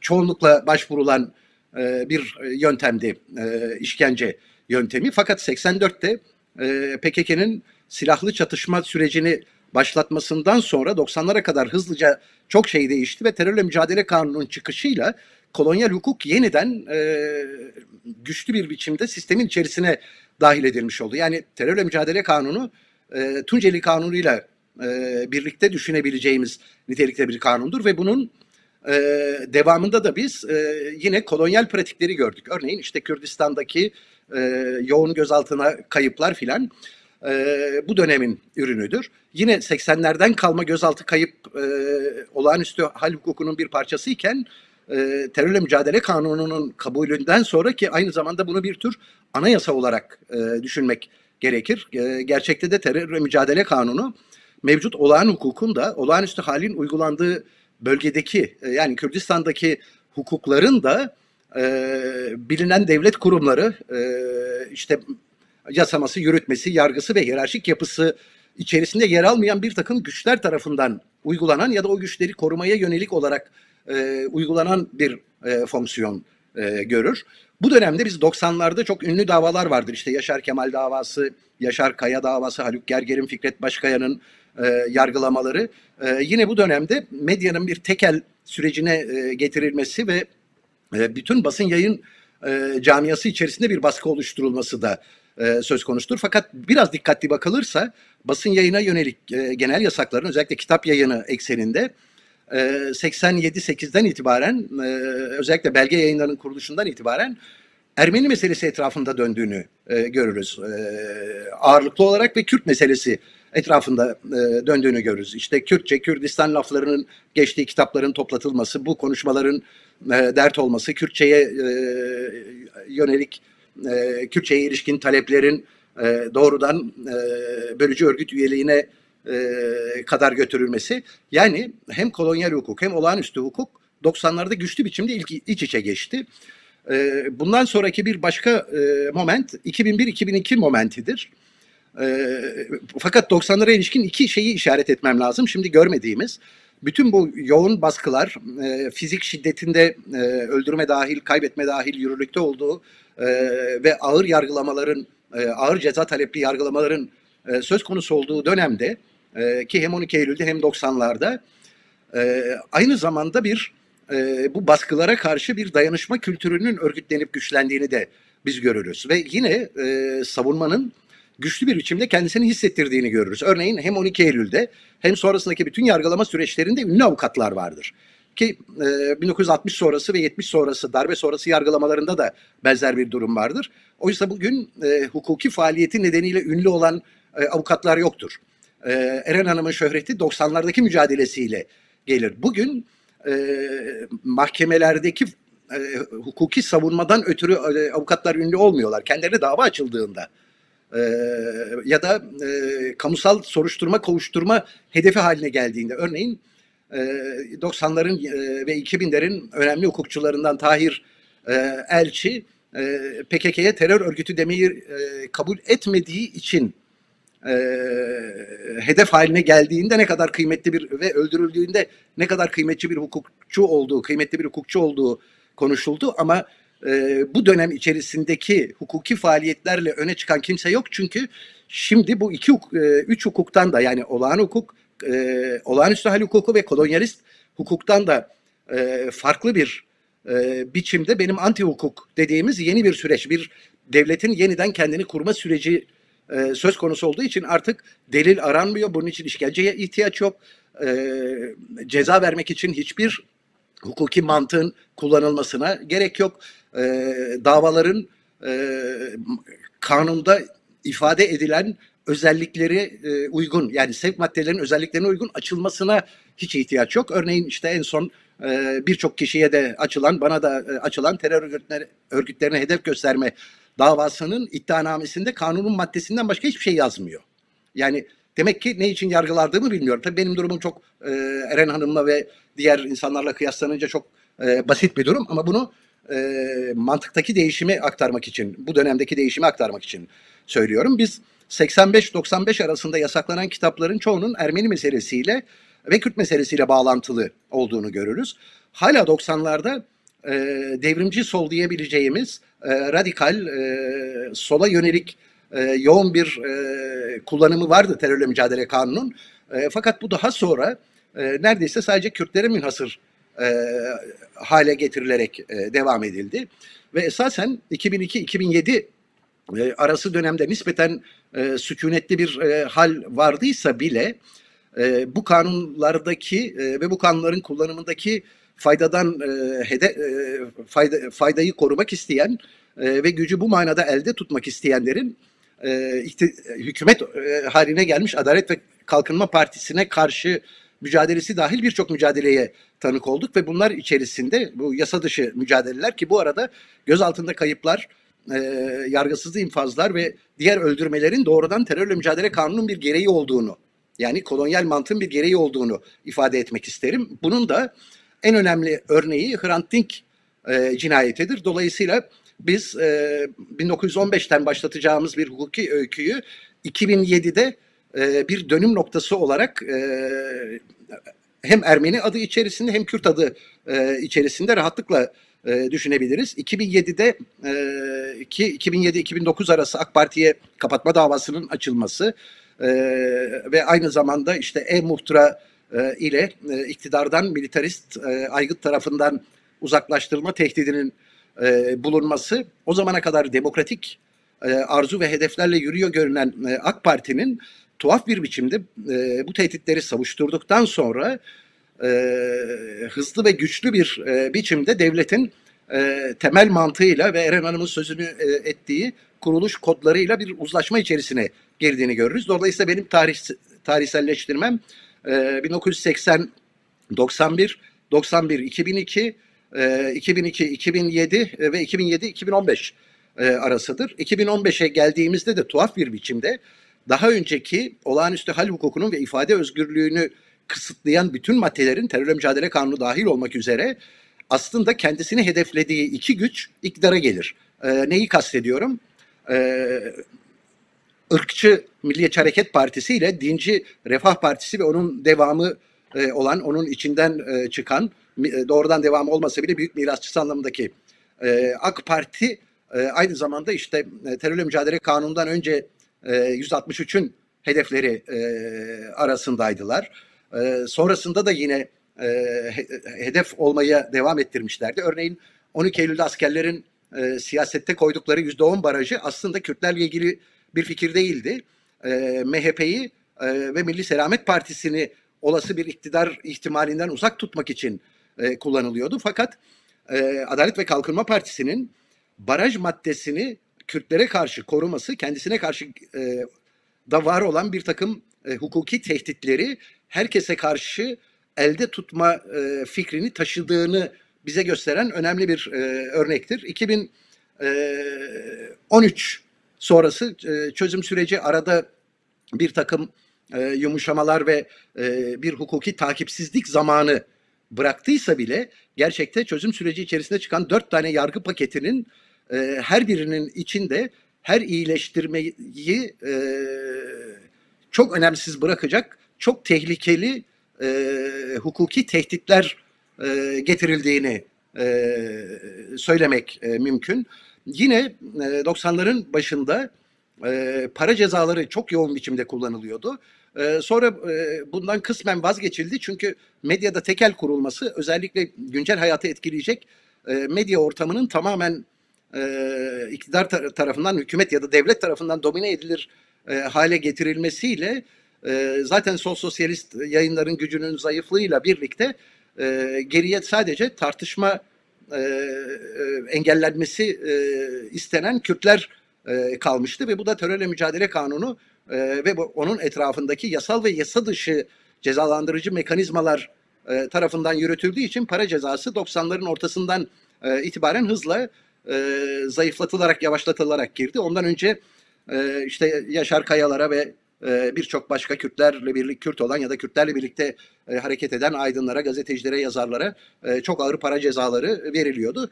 Bu yöntem olarak e, özellikle 2005'ten sonra e, çok azaltılan, çok e, e, sık başvurulmayan e, bir yöntemdir. Bu arada şu noktaya da işaret etmek lazım. Bütün bu hikayeler olurken genel olarak medyanın ve akademinin tutumu aslında e, pek tartışılmaz ama çok önemli ve belirleyicidir. Örneğin siz 90'larda ana akım e, medyayı izlediğinizde e, ya da 90'lardaki akademik çalışmalara, faaliyetlere ve akademiden söz alan kişilere e, baktığımızda e, belirli bir cesaret gösteren e, özellikli bazı isimler dışında e, devletin hukukunu yani olağanüstü hal, kolonyal e, hukuk e, ve bunun işte olağan hukukla iç içe geçmiş olan devletin hukukunu yani bir tür devletin yok etme bilimini canla başla savunduğunu e, görürüz. O kadar ki e, hukuki iyileştirmelere ilk itirazlar askerlerden bile değil e, medyadan gelir ya da olası barış ve çözüm süreçlerine 2013 e, bir çözüm süreci örneğin gündeme geldiğinde e, ana akım gazetelerin neredeyse bütün yazar çizerleri askerlere isim vererek doğrudan davette e, bulunarak bu süreci engellemelerini e, talep e, ederlerdi. Aynı zamanda e, yoğun bir tarama ve ihbar faaliyeti de görürlerdi. Yani birdenbire bazı maddeler öne çıkıyorsa ya da bazı isimler hızlıca e, hedef haline geliyorsa e, bu sistem içerisinde ki Tahir Elçi de böyledir, Hrant Dink de böyleydi, Ahmet Kaya da e, böyleydi. E, medyanın fonksiyonunu e, hep akılda e, tutmak gerekiyor. Yani fikir özgürlüğü yanında değil, e, fikir ve ifade özgürlüklerinin ve örgütlenme özgürlüklerinin karşısında e, kurulu bir ana akım e, medya vardı. 2015 sonrası durumsa şudur. E, olası e, elden gözden e, kaçma ihtimaline karşı Adalet ve Kalkınma Partisi bütün bu yapıları doğrudan kendisine bağlayan e, bir zamanlar marjinal olarak e, tabir edilen iki politik akımın artık merkez haline geldiği yeni bir e, yapı ve devlet kurmaya başladılar. Burada sıralama e, şöyle e, artık dönüştü. Öncelikle anti hukuk e, dediğim hukuki mantığın e, hiçbir şekilde devrede olmadığı, hukuken bir maddede hukuken korunan yararın tam tersini o maddeye dayanarak elde edebileceğimiz e, bir mantık girdi. Bunun e, sağlanabilmesi için destekçi olarak kolonyalist hukuk mantığı devreye girdi. Kolonyalist hukuk mantığının özelliği de şudur. Olağanüstü hal hukukunda yine bir takım sınırlamalar, e, hak sınırlamaları, özgürlük sınırlamaları gelir ama asgari bir hukuki zemin korunur. Halbuki kolonyalist Fatih Yerli ile karşılaştığında onu insan olarak kabul edebilmesi için bile çok uzun zaman e, gerekir. Bir emtia, e, bir madde, bir nesne olarak e, davranır ve rahatlıkla e, yok edebilir ve bunu da kimse tartışmaz. Şu anda e, bu üçlü mantık yani anti hukuk, kolonyalist hukuk, olağanüstü hukuk Türkiye'nin ana hukuku e, niteliğinde çünkü e, yeni bir e, devlet kuruluyor. Es, eski militarist aygıt ve onun bekçisi e, ulusalcı Kemalistler, e, ırkçı milliyetçi MHP e, ve dinci milliyetçi Adalet ve Kalkınma Partisi bu kuruluşun mümessilleri e, durumundalar. Dolayısıyla biz şu anda e, ifadeye yönelik baskıları aslında hukuki süreçleri takip ederek hiçbir şekilde anlayamayız. Bu gücün arzularına uygun ve bu gücü e, elde bulunduran yapının sözcülerinin, liderlerinin sözlerinin doğrudan hukuk anlamına geldiği, e, uygulanan hukuk anlamına geldiği bir e, dönem içerisinde e, bulunuyoruz. Biraz uzattım, e, özür dilerim, biraz karışmış da olabilir ama e, ben yoğurdu yüzüme gözüme bulaştırarak yiyenlerdenim. E, kusura bakmayın lütfen. Estağfurullah. Çok teşekkür ederiz. E, gerçekten kapsamlı bir e, sunum oldu. E, özellikle bu e, bahsettiğiniz e, anti hukuk meselesi ve o legalizmin legalizm kaygısının da kayboluyor olması aslında Eren Hanım'ın da söylediği bu yargısal tacizlerin yani e, 301'den davalar açılıyor ya da işte soruşturmalar başlatılıyor ama e, beraatle sonuçlanıyor. E, hiç açılmaması gereken e, davalardan aslında bahsediyoruz. E, onunla da e, örtüşüyor diye düşünüyorum. Ee, yine belki Serdar Hoca'nın sunumundan sonra da e, sizin sunumunuzda konuşan tarafları soru cevapta biraz daha e, konuşuruz. E, sırada Nuray Özdoğan'la devam ediyoruz. E, 1980'lerden bugüne siyasi hayatı tek, tek tipleştirmek için e, çeşitli yasaların e, kullanıldığını konuştuk zaten. E, bugün de meşru siyasi faaliyetleri kriminalize etmek e, üzere terörle mücadele mevzuatının e, kullanıldığını görüyoruz. E, Nuray Hanım siz e, bugün e, bu yargılamaları da çok yakından e, takip eden bir e, hukukçusunuz. E, siz neler söylemek istersiniz?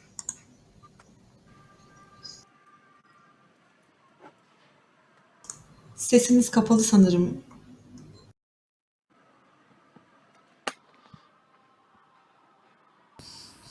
Şimdi geliyor mu sesim? Evet. E, tüm katılımcılara sevgi ve selamlarımı iletiyorum.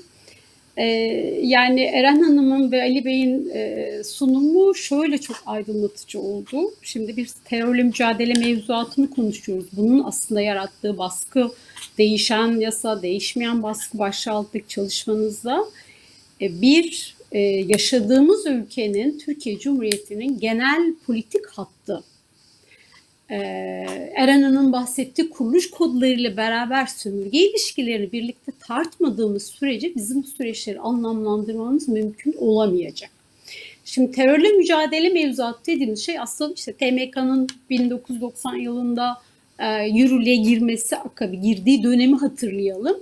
Aslında e, Kürt siyasal mücadelesinin yükselmeye başladığı, Kürt halkının toplumsal taleplerinin artık siyasallaşmaya başladığı bir süreci işaret eder. Ben bunu şöyle yorumluyorum. Ee, 90'lar daha doğrusu 2000'lerden sonra değişti. Aslında e, daha çok e, askeri yöntemlerin baskın olduğu, işte e, mevcut TCK'nın yeterli olduğu ve askeri yöntemlerle ilerlenen bir dönemden e, süreç değişti tabii toplumsal ilişkiler değişiyor, üretim ilişkileri değişiyor, e, ekonomik süreçler değişiyor ve e, devamında artık e, siyasi baskı araçlarının da daha etkin kullanılmaya başlandığı bir sürece evrildik biz. Evet bir çözüm süreci dönemi geçirdik ama genel olarak 2000'den sonra da her ne kadar uyum yasası dönemi paketleri olsa dahi genel olarak sürece bence rengini veren buydu. E, yani de e, süremiz kısa olduğu için ben e, şu süreçten alabilirim. 2014'ten sonraki süreçle bir karşılaştırma yapabilirim. E, şimdi devletin temel kodları değişmedi. Evet yöntemler değişti. iktidarlar değişiyor. Ama Türkiye'de değişen iktidarlar, bu AKP iktidarı da dahil, her ne kadar İslamcı bir iktidarla karşı karşıya olsak da e, Türkiye her zaman bir Ben hala da öyle olduğunu düşünüyorum. Tüm süreçleri birlikte değerlendi ve hala askeri savaş politikalarının ürünü çıktıları görüyoruz biz. Mevzuatın uygulanması, mevzuattaki değişikliklerde, tüm yaşadığımız süreçler, yargılama süreçleri de dahil böyle ilerliyor şu an. E, ha şu değişti, yani başta Emel söylemişti, neoliberal politikaların etkisiyle beraber tabii ki yöntemler değişti. Nasıl oldu? Şimdi daha öncesinde e, siyasal taleplerin e, e, çok hızlı e, TMK uygulanarak cezalandırdı dönemden artık terörle mücadele mevzuatını, ter, terörle mücadele kanunu ve Türk Ceza Kanunu sınırından çıkaran bir sürece evrildik. Artık Türkiye'deki tüm mevzuat buna e, ben işte riskli alanlarla ilgili mevzuat, e, mülkiyetle ilgili mevzuat da dahil buna belediyelerin ve belediye mevzuatı hemen hemen Türkiye'deki her mevzuatın bu sürece uygun kullanıldığı daha e, kullanışlı hale getirdiği bir sürece dönüştü her şey. O nedenle aslında yargısal tacizin, yargısal baskının daha yoğun hissedildiği bir döneme şahitlik ediyoruz. Bir dönemi beraber yaşıyoruz. Ee, şimdi siyaseten cezalandırma ya da siyasi mücadele alanları cezalandırmada e, tabii ki araçlar değişti. Bugün e, o dönem için düşündüğümüzde partilerin kurulan Kürt siyasi e, hareketinin kurduğu Kürt halkının taleplerini siyaseten e, belki gerçekleştirmek için kurulan partiler bir iki yıl içerisinde kapanır, kapanırken mesela şu an e, örneğin HDP aslında en uzun süre hayatta kalmış. Yani yasa olarak en uzun sürede hayatta kalmış bir yapı. E peki bu aslında yasa olarak hayatta kaldı mı? Hayır. Öyle araçlar ve yöntemlerle siyaseti baskıladılar ki aslında bir kapatma kararından daha etkili yöntemler uyguladılar. E şimdi en fazla da yargısal süreçlerde hem yargı mekanizmasına hem yargıç yargıç sistemine HSK dahil, kanunlar dahil en hızlı ve efektif işleri yapıldığı dönem 2015 ve sonrası. Yani tabii ki burada o çözüm sürecinin e, bitmiş olması, işte bir savaşın başlamış olması, yeniden yükselmesi, çatışmaların artmasıyla beraber e, ve o e, devletin e, belki devletin bileşenlerinin kısmen değişmesi. Ana yapının durması ama kendi ittifaklarıyla devam etmesi devletin. Farklı ittifaklarla beraber bu e, bu ittifakların içerisinde e, cihatçı örgütleri de katabilirsiniz. E, daha radikal olmayan unsurları da katabilirsiniz. Başka bir ittifakla artık yürüyor bu devlet ama temel yapısını ve temel politikasını aslında devam ettirerek ilerliyor. Bizim yaşadığımız süreçte örneğin e, siyaseten geçmişle karşılaştırma yaptığımda siyasi faaliyet yürütmenin belki de en zorlaştığı dönem oldu. Yani elbette ki her dönemin başka zorlukları işte faali meçhul dönemler yaşandı. İnsanların evine sağ gidip gitmeyeceğini bilmediği dönemler yaşandı. Ama şu an mevzuatın infaz mevzuatı da dahil. Yani mesela ben şunu yanlış buluyorum. Gerçekten terörle mücadele mevzuatı infaz hukukuyla birlikte değerlendirilmeli. Devlet bir bütün olarak bakıyor bu süreci. Biz bunun en iyi tanıklığını son dönemki cezaevi süreçlerinde, ceza infaz rejiminde gördük örneğin. Asla ayrı parçalı bir e, bize göre parçalı gelen hukuki güvenlik ilkesinin ortadan kaldırıldığı, belirsizliğin yoğun olduğu süreç aslında belli bir mekanizmadan bu süreci yürüten mekanizma açısından ben net olduğunu düşünüyorum. Bir planlama dahilinde gittiğini düşünüyorum. Ben hala 2014 yılı MGK'sında ne karar alındıysa bu kararların istikrarlı bir şekilde uygulandığını düşünüyorum. Ha şu farklı, şunu daha çok hissediyoruz şu anki yargılamalarda. Gerçekten e, işte Ali Bey'de de delil elde etme yöntemiydi işkence. Şimdi istihbarat faaliyeti. Yani istihbarat notları genel olarak aslında yargılama için yeterli delil artık kabul edildiği bir süreç yaşıyoruz. Ee, kişilerin potansiyel olarak kodlandığı, o potansiyel kodlamayla beraber yargılandığı ve ceza aldığı bir sürece şahitlik ediyoruz. Yani legallik, e, yasallık, meşruluk, yasadan meşruluğunuzu alırsınız ya bir devlet olarak.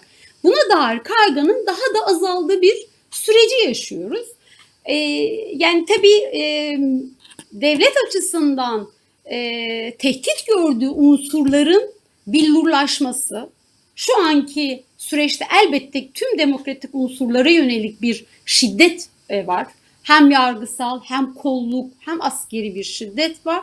Ama e, asıl olarak tabii ki şu an e, devletin ana e, kodu şudur.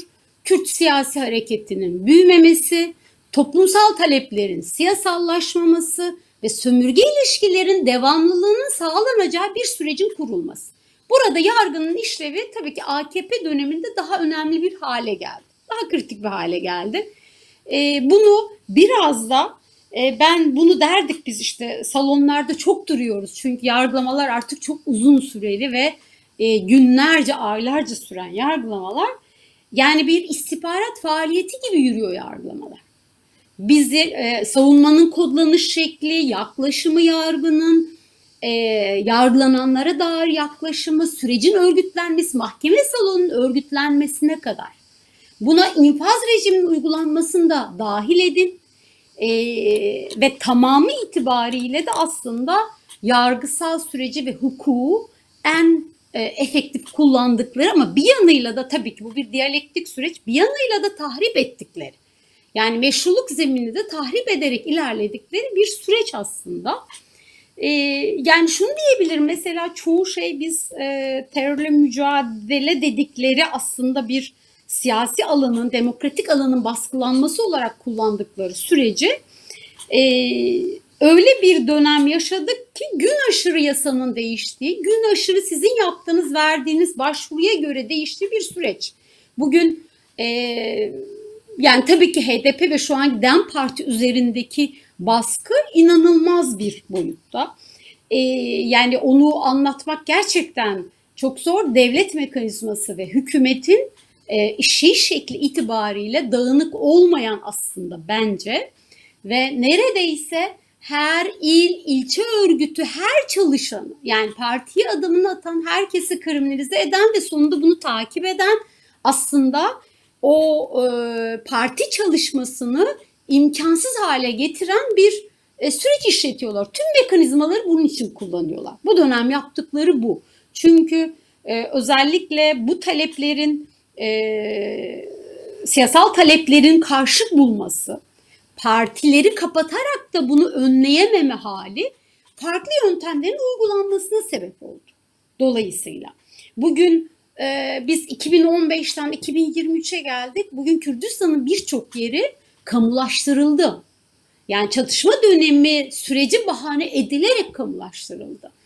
Yani şimdi kayyum süreci de aynı şekilde. Kayyum süreci aslında sadece bir e, siyasi iradeyi kesintiye uğrama, sizin e, şuna yol açıyor. Evet sizi siyasetten temsil kapasitenizi ortadan kaldırmaya çalışıyor. Halkla bağınızı koparmaya çalışıyor. Siyasi öznenin bağını koparmaya çalışıyor. Ama birinci sebebinin bu olduğunu düşün. Birinci sebebi aslında Ali Bey'in de değindiği sömürge ilişkileri. Sömürge e, sürecini devam ettirtme. Onu artık geri dönüşü olmaz bir şekilde yapılandırma ve kurma. Başarılı oldu mu? Ben olmadığını düşünüyorum. Elbette ki e, Kürdistan'ın birçok kaynağı o ilişkilerin içerisinde yok edildi. Birçok kaynağı zarar gördü ama sonuç olarak başarılı bir yöntem olduğunu düşünmüyorum. Yani bunları e, tırnak içerisindeki terörle mücadele mevzuatından ayıramayız. Bugün e, yasal zemin artık bir yasal zemin değildir. O anti hukuk dediğiniz zemin aslında artık hukukun sömürge hukuku ilişkileri içerisinde yeniden şekillendiği bir süreç ve e, peki böyleyse biz yani bugün e, nereden aklımıza gelirdi TCK 37'nin bu kadar işlevli hale geleceğini bir mesela terörle mücadele mevzuatı içerisinde biz artık azmettirme ve tahrik maddesini işleyeceğiz.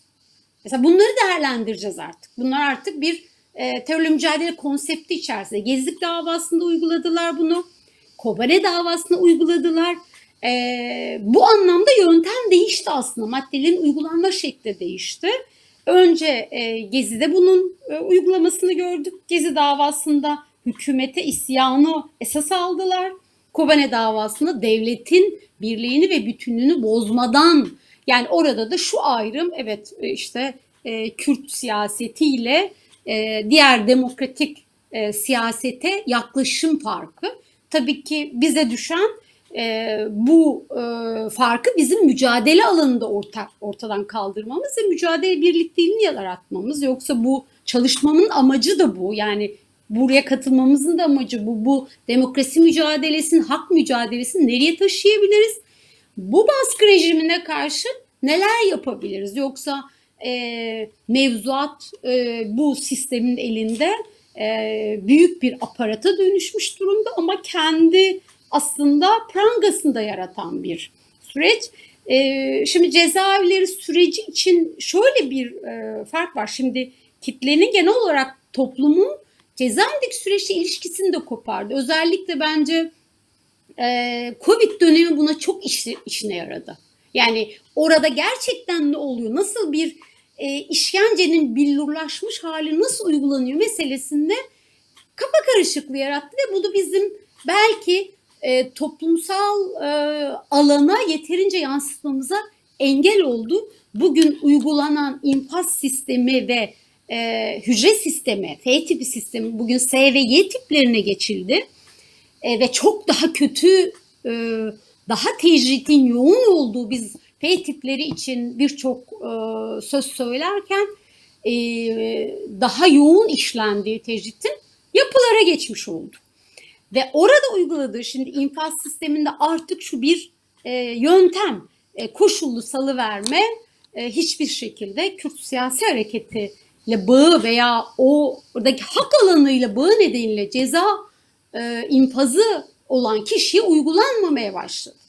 Ve bu şu demek insanların iki yıl, üç yıl bazen altı yıl daha fazla cezaevinde kalması demek. Yani orada şunu söyleyebilirim. Beslenme düzeniyle oradaki yaşamın tamamı açısından korkunç bir tecrit var. Bugün e, biz e, işkencenin açık uygulandığı dönemlerden şeffaf ve billurlaşmış bir şekilde işkencenin ve kötü muhallemenin uygulandığı bir dönemi ama bunu tanımlamak gerekiyor. Şimdi sorun ne? Biz bunu tanımlamakta zorlandığımız için e, buna dair mücadele yönteminde bulmakta zorlanıyoruz. Bugün e, şununla bağlayayım ne kadar sürem kaldı bilmiyorum şey kısa. E, şimdi kayyum rejimine iflas etmiş bir rejime neden dönmek istiyor yeniden AKP ve devlet? Aslında iflas etmiş bir yöntem.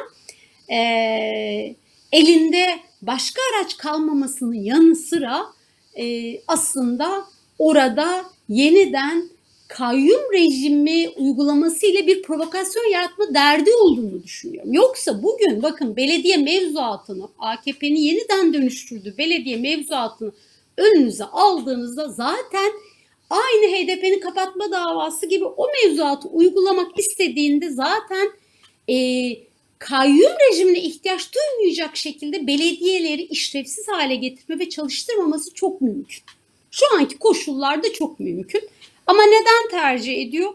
Hala bugün işte Diyarbakır'da bir iki gündür görüyoruz bir provokasyon girişimi var. Bir e, ka, e, eski usullerle bir kahvehane taranması söz konusu oldu. E, yani provokasyonu temel bir siyaset aracı e, olarak çok daha sık kullanmaya başladılar.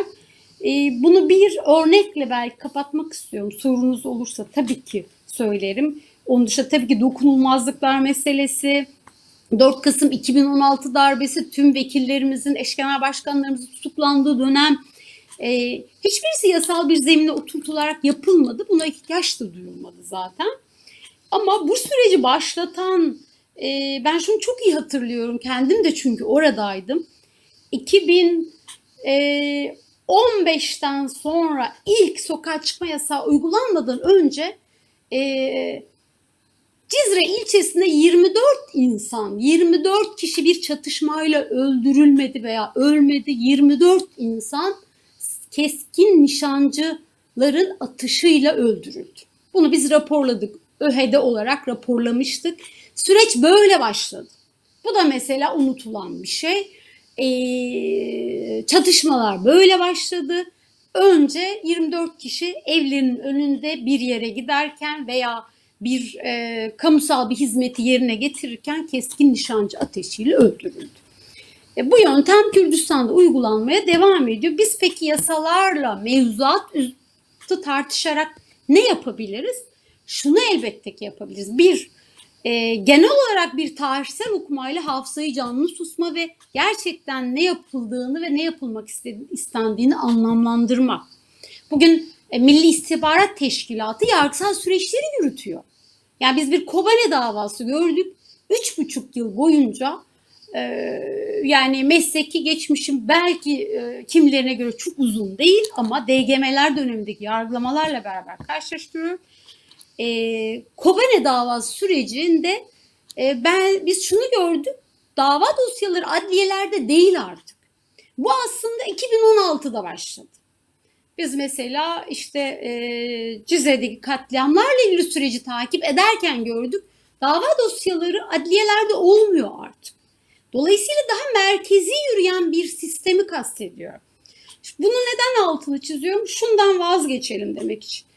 Evet hukuki güvenlik ilkesi yok. Evet belirsizlik var ama bu bir iktidarın, devletin belirsizliği değil. Bu bize uygulanan şiddetin bizde yarattığı tepki aslında. Ee, ve artık e, yargının fiziki olarak da ya buna kolluk da dahil. Kolluğun belli bir bölümü artık işletiliyor bu süreçlerde. Yani işte TMK onunla görevli mahkemeler vardı DGM'den sonra artık özel yargılama usulü ama yasal zemini olmadan bir özel yargılama yürü. Özel yargılama dışında da sadece yargıçlar ve savcıların belirlendiği, tümüyle belirlendiği bir süreç değil artık o süreci yürütecek kolluğun da soruşturma aşaması kolluğun da artık belirlendiği ve bir e, özellikle e, toplumsal olarak etkisi büyük Türkiye tarihi açısından değiştirici ve dönüştürücü davalar açısından e, binalarda, adli binalarında yürümeyen bir süreç artık var. Yani dolayısıyla artık e, iyi popüler hukukçu bulamazsınız. Popüler o tabire de karşıyım. O ayrı. Ama hukuku artık talep edilen evrensel insan hakları hukukun hukuku talep edilen bir şey olmaktan çıkaran bir süreç. Bugün 90'lara göre Kürdistan'dan bu kadar az başvuru varsa yine Eren Hanım'ın Avrupa e, ahim sürecine dair belki konuşması işaret ediyor. E, bu kadar yoğun ihlal varken bu kadar az başvuru olmasını da düşünmek lazım. Neden bu kadar az başvuru var? E, uluslararası mekanizmalar. Halktan, Kürdistan'da yaşayan insanlardan genel olarak hak ihlaline uğrayanların evet AYM'ye, AHİM'e e, başvuru sayısal olarak artmış olabilir. Ama Kürdistan'daki suçlar açısından başvuru artmadı. Ya suçun yoğunluğuna göre artmadı. Çünkü biz Sur yıkılırken, e, orada Şırnak yıkılırken, Yüksekova yıkılırken birçok yer sadece insan yıkım yapılmadı. Fiziki yıkım da yapıldı. Kentler ve mekanlar yok edildi. Çünkü onların hepsi bir hafıza, hepsi bir e, politik bir sürecin ürünü aslında. Mekan da politik sonuçta. E, oradaki süreçte tüm yargısal süreçler bir yerde kilitlendi ve buna Avrupa İnsan Hakları Mahkemesi'nin de Avrupa Konseyi'nin katkısıyla süreç kilitlendi. Süreç tümüyle uluslararası e, çalışmanın ürünü olarak tabii ki Türkiye Devleti lehine işlemiş oldu. Orada mekanizmayı tıkayarak aslında başvuruyu azalttılar. Mesela bu konuda gerçekten Avrupa Konseyi tartışmalı, Avrupa İnsan Hakları Mahkemesi sistemi bu açıdan tartışılmalı. Çünkü bilinçli bir tercih yapıldı, başvurular kesildi. Binlerce, milyonlarca insanın yeri yıkıldı. Ee, yani insanların katledilmesi dışında ama e, ben e, ilk defa şuna biz de şahit olduk, kurumsal olarak takip ettik insanların başvuru yapmak istemediğini. Yani başvurudan artık çünkü o hukuksal süreci siz imkansız hale getirdiğinizde provokatif süreçlere uygun zeminler yaratmaya başlıyorsunuz. Ee, bu da aslında bir politika. Ee, evet yani tabii ki hukuka ihtiyacımız var ama hukuk e, işte Van örneği en son gördük. Bugünkü hukuk siyasal süreçlerle ancak kazanım elde edilebilecek bir süreç. Yani yargısal süreçlerde kazanım elde etme ya da hak alanını genişletmek mümkün mü? Benim kafamda büyük soru işaretleri var bu dönem için. Buna mümkün değil, imkansız demeyeceğim. Hukukçu kimliğimiz bunu bazen söylemeye el vermiyor. E, ama e, üzerinde gerçekten düşünmek gerekiyor. E, bu kadar yıpratılan e, hak alanı e, gerçekten artık biz adliyelerde veya yasal düzenlemeleri zorlayarak elde edebilir miyiz? Bu mümkün mü? E, bunu belki tartışmak gerekiyor. E, diyerek şimdilik böyle e, sonlandırmış olayım. Sorular gelirse de yanıtlarım. Teşekkürler Nuray Hanım. Yani özellikle bu belirsizliğin ve keyfiliğin sürekliliği diye tabir edeceğim bu bahsettiğiniz meseleye. Onun ne kadar yakıcı olduğunu yine belki soru cevapta biraz daha konuşuruz. Siz de bir sürü örneğini verdiniz. E, ve bütünlüklü bakmanın da aslında ne kadar önemli olduğunu e, yine anlattıklarınızdan e, çok iyi gördük diye düşünüyorum. E, biz de tam da bu niyetle aslında terörle mücadele kanunu değil terörle mücadele mevzuatı e, olarak adlandırmayı uygun bulmuştuk. Bunun tek bir kanunla değil aslında bir külliyatın ve bir uygulamalar bütününün parçası olduğunu da siz de vurgulamış oldunuz. E, ben son konuşmacımız olan Serdar Tekin'le devam etmek istiyorum çok vakit kaybetmeden. Ee, Serdar Hoca da aslında bu e, anlatılanları daha kavramsal bir çerçeveye oturtacak. E, ee, 21. yüzyılda güvenlik anlayışı ve güvenlikleştirme politikalarının e, nasıl değiştiğini ya da e, değişmediğini ve bu politikaların hak ve özgürlükler ya da meşru hak talepleri aleyhine nasıl genişlediğini Serdar Hoca'dan dinleyeceğiz. Buyurun. Çok teşekkürler. Hem öncelikle çalışmanız için çok teşekkürler. Hafıza Merkezi yine müthiş bir iş ıı, yapmış durumda. Hem de diğer konuşmacılar çok kıymetli ıı, vurgular yaptılar. Her birine tek tek ıı, teşekkür etmeyi de kendi adıma bir borç olarak hissettim sizleri dinlerken. Şimdi enteresan bir şey oluyor aslında bu panelde ve raporda da enteresan bir şey var hazırladığınız çalışmada, Hafıza Merkezi'nin hazırladığı çalışmada. Ve bunu da özel olarak da Hafıza Merkezi işte raporun taslak halini okumuş birisi olarak söylüyorum. Sonuç kısmında şöyle bir vurgu vardı. Ya biz bir insan hakları örgütü olarak elbette bütün çalışmalarımızı, bütün raporlarımızı şimdiye kadar hep bir takım önerilerde bulunarak tamamladık diyor Hafıza Merkezi haklı olarak. Yani insan hakları örgütleri yaptıkları izleme faaliyetlerini ki bir açıdan bu da bir izleme faaliyeti, bir mevzuatın zaman içindeki değişimi dönüşümü burada izleniyor, inceleniyor. Bir izleme faaliyeti bir takım önerilerde bulun narak tamamlanır insan hakları örgütleri açısından ki en azından ne yönde bir değişim, dönüşüm vesaire talep edildiği, telkin edildiği belli olsun. Fakat bu rapor bir istisna olarak böyle bir öneriler seti içermeyecek demişsiniz. Neden böyle dediğiniz çok iyi anlaşılıyor. Çünkü terörle mücadele mevzuatına ilişkin somut öneriler getirmeye çalıştığımız her noktada kendimizi ister istemez bu mevzuatın parçası olduğu habitatın içinde hareket ederken buluyoruz. Ve aslında bugün panelde her üç konuşmacının da farklı vurgularla, farklı biçimlerde bence muazzam biçimde derinleştirdiği bir soru var. Bu soru da şu. Terörle mücadele mevzuatının siyasi özü nedir? Yani aslında biz bu üç konuşma boyunca birçok başka şeyin yanı sıra bu soruya verilen bir çok katmanlı yanıt da dinledik. Ve ben bu soruyu bu haliyle, bu formülasyonuyla son derece önemli de buluyorum. Çünkü terörle mücadele mevzuatının elbette her türlü mevzuat gibi bir yasanın veya yasal düzenlemelerin gerekçeleri var. İşte o gerekçeler bizi güvenlik götürüyor. Terörle mücadele mevzuatı söz konusu olduğunda. Formülasyonları var. Düzenlemelerin kendilerinin, yasanın lafzı diye bir şey var düzenlemelerin nasıl formüle edildiğiyle ilgili meseleler var. Buna ilişkin çok kıymetli tespitler zaten raporda da yer alıyor. Burada konuşmacılar da altını çizdiler.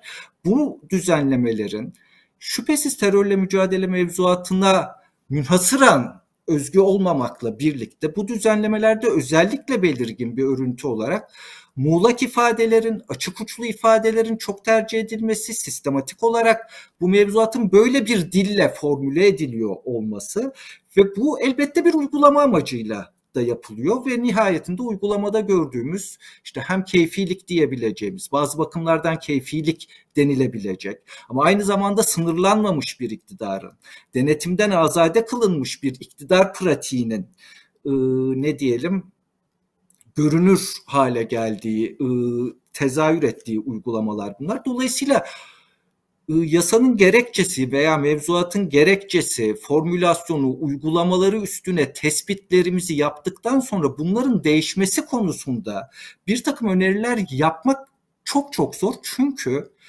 bütün bunları bir arada tutan, terörle mücadele mevzuatını sistematik olarak bir arada tutan şey bir siyasi mahiyeti, bir siyasi muhtevası, bir siyasi özü var. Bunun ve bunun üstüne biz üç konuşmada çok kıymetli vurgular dinledik. Şimdi bu damardan veya bu kanaldan bir iki şey söyleyip ıı, biraz daha bu 21. yüzyıl neoliberal dünyada terör kavramı ve terörle mücadele ıı, pratiklerine öyle geçmek istiyorum. Şimdi terörle mücadele mevzuatının siyasi özü temelde bir olağanüstü hal mantığı. Bunu Ali Duran Topuz'un bence çok kıymetliydi. Yani bu kolonyal hukuk ve olağanüstü hal hukuku ayrımını da tartışmaya açan bir yerden konuşması. Ama ayrımı kavramsal olarak anlamakla birlikte Türkiye pratiğinde bunların iç içeliği, bir aradalığı ve birbirini biçimlendirerek, şekillendirerek gelişmiş olması Cumhuriyet tarihi itibariyle bana çok daha açıklayıcı ve somut olarak çok daha gerçek geliyor.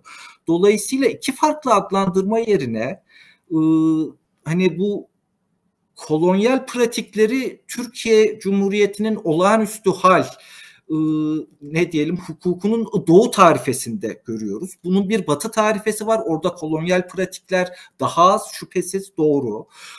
Çünkü bu aynı zamanda cumhuriyetin evet bir cumhuriyet ama Türkçü bir cumhuriyet olmasıyla da ilgili. Zengin bir tartışma, kıymetli bir tartışma ama sadeleştirmek açısından ben terörle mücadele mevzuatının siyasi özünün olağanüstü hal olduğuna veya olağanüstü hal hukuku olduğuna bütünüyle katılan bir perspektife sahibim. Bunu da özellikle önemsiyorum. Şu nedenle önemsiyorum. Olağanüstü hal kavramı sadece bir o hal düzenlemesi itibariyle değil veya bir anayasal mekanizma olarak o halde değil bir siyasi veya siyasi ve hukuki teori terimi olarak olağanüstü hal nedir? Son tahlilde olağan ıı, yasaların dışında ve ötesinde yapılabilirliklerin, yetkilerin, takdir marjlarının adı konmamış, sınırlanmamış, düzenlenmemiş yapılabilirliklerin mümkün hale geldiği, meşru edildiği bir saha, bir alan, bir, bir yayılım alanı açıyor. Şimdi bunlar olağanüstü hal mantığının hukuki tezahürlerine baktığımızda ister istemez bu tür yetkiler geçici ve istisnai yetkiler olarak ı, kodlanıyorlar, işaretliyorlar işaretleniyorlar hukuk sistemlerinde. Nitekim bizim anayasalarımızda da öyle. 1924 anayasasından itibaren sıkı yönetimi düzenleyen ne diyelim anayasal düzenlemeler bunu bir tedbir uygulaması ve geçici bir süreyle ancak başvurulabilecek bir tedbir uygulaması olarak tanımlıyor. Fakat modern hukuk sistemlerinin çoğunda ve Türkiye özel olarak bu açıdan derece parlak bir örnek tırnak içinde. Bu geçici ve istisnai yetkilerle yasal olarak düzenlenmemiş fakat yürütmeye tanınmış geniş takdir marjı bir arada gidiyor. Güzel. Şimdi terörle mücadele kanunları veya terörle mücadele mevzuatı dediğimiz şey, yani siyasi özü dolayısıyla da bir olağanüstü hal e, hukukudur dediğimizde şöyle bir şey kastetmiş oluyoruz. Geçici ve istisnai yetkilerin kalıcılaştırılmasını, istisna olmaktan çıkarılmasını, normalleştirilmesini ve normatifleştirilmesini, böylece belli söz ve eylemlerin, keza onları dillendiren ve onları icra eden bir aktörler silsilesinin daimi bir olağanüstü hal kapsamına alınmasını kastediyoruz. Türkiye Cumhuriyeti'nin tarihi Kürtler açısından budur. Muhalifler, solcular, sosyalistler açısından budur, Aleviler açısından budur ve en azından kamusal alanda görünürlük kazanmayı talep ettikleri ve oralarda bir toplumsal ve siyasal mücadelenin öznesi olarak kamusal alana çıkıp konuşmaya, eylemeye çalıştıkları ölçüde budur.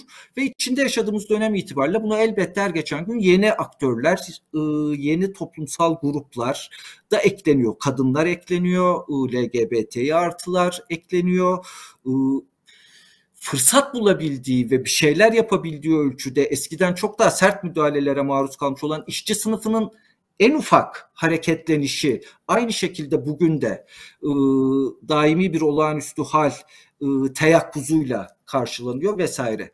Dolayısıyla da terörle mücadele mevzuatı bir olağanüstü hal e, mevzuatı aslında bunu kalıcılaştıran, bu tür yetkileri istisnai olmaktan çıkaran, geçici olmaktan çıkaran ve geniş bir toplumsal aktörler silsilesini daimi bir olağanüstü hal kapsamına sokan bir mevzuat. Şimdi bu mevzuatın Cumhuriyet tarihindeki kökleri ve Cumhuriyet tarihi boyunca dönüşümü ıı, veya sürekliliği haklı olarak vurgulandı. Ama bizim ötemizdeki dünyada, bizim dışımızdaki dünyada ve yine bizim çağımızda hani hafıza merkezinin e, raporunda da zaman zaman haklı olarak altı çizildiği gibi çeşitli paralellikler söz konusu. Bir kere terör ve terörle mücadele kavramlarının, konseptlerinin hani küresel yayılımına baktığımızda bunun takriben 70'lerin ikinci yarısından itibaren ve neoliberal güvenlik devleti diye adlandırabileceğimiz bir devlet tipinin inşasıyla birlikte ve iç içe geliştiğini görüyoruz. Ha daha önce başka bir güvenlik dili var. Daha önce bu tür işlevlere tahsis edilmiş başka mekanizmalar vesaire var ama bu türden teyakkuz asayiş dili, söylemi, mekanizmalarını terör kavramı üzerinde ıı, kristalize eden ve buna özgülenmiş yeni mevzuatlarla güncelleyen bir ıı, dönem 70'lerin ortası itibariyle ıı, belirginleşmeye başladı. Bu sadece Türkiye'de değil genel küresel bir eğilim olarak bunu tespit etmek mümkün. Bunun elbette küresel kuzeyde ve küresel güneyde farklı tezahürleri, farklı şekillenişleri oluşuyor.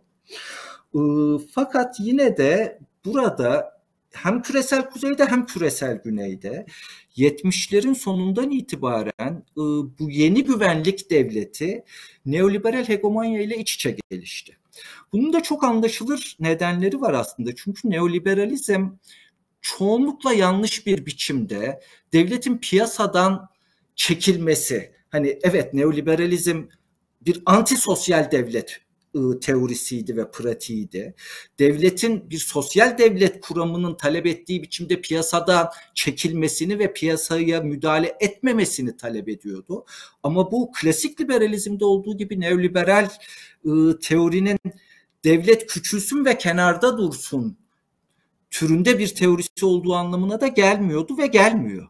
Neoliberalizm baştan itibaren bir temelde bir siyasi teoriydi, bir iktisadi teori değildi. Bir devlet teorisiydi.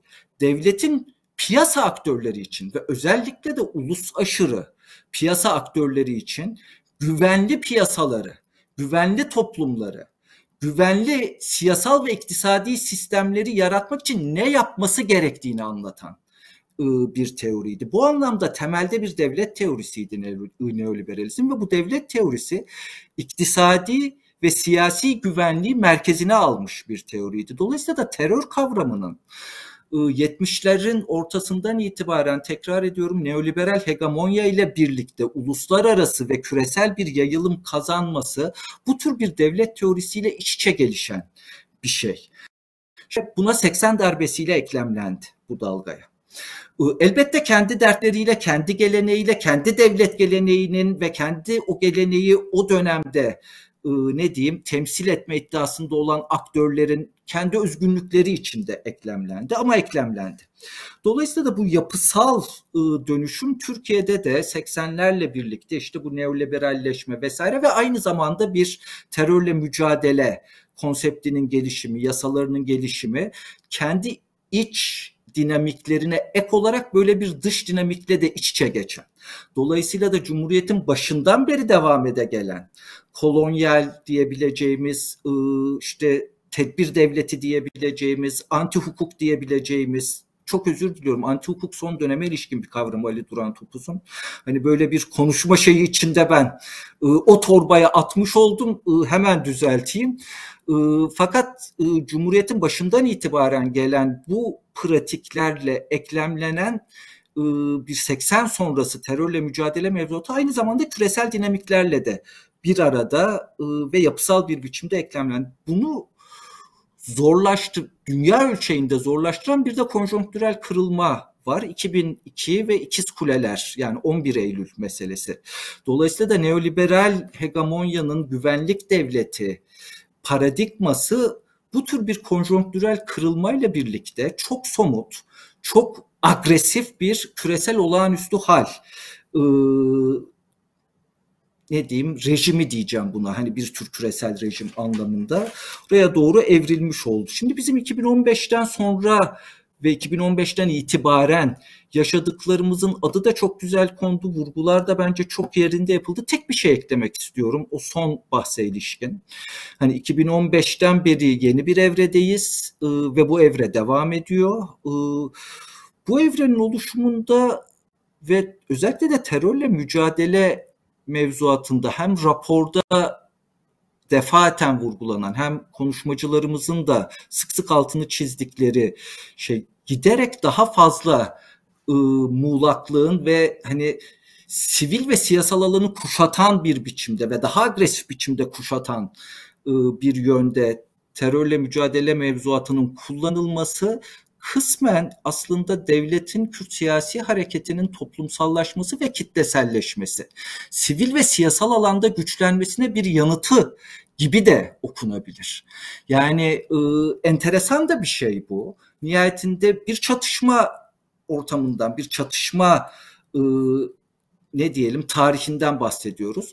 Bu çatışmanın taraflarından biri e, silahlı çatışmanın dışında silahlı çatışmanın tarafı olarak da kendini hiçbir biçimde görmeyen bir biçimde yasal alanda kimlik talebi üzerinden, ana dil hakkı üzerinden, tanınma talepleri üzerinden yasal, açık, sivil siyasal alanda meşru örgütlenmelerle bir talep dile getiriyor. Ve bunun karşılığında ki reaksiyon mevcut yasaları muğlaklaştırma, mevcut yasaları ıı, buharlaştırma, yasal olanla ıı, yasa dışı olan arasındaki sınırları beştirme bu bizzat bir devlet pratiği olarak şekillenmeye başladı. Çünkü nihayetinde Kürt siyasi hareketinin ıı, ne diyelim şiddet dışı aktörlerini terör kavramıyla terör şemsiyesi altında düşünmenin, kodlamanın, suçlulaştırmanın bir yöntemi olarak bu şekillendi ve elbette bu Kürtlerle başladı ama Kürtlerle sınırlı kalamayacak bir şeydi. Dolayısıyla toplumun çok geniş bir kesimine de bugün teşmil edilen, yayılan bir yaftalama şeklinde devam ediyor.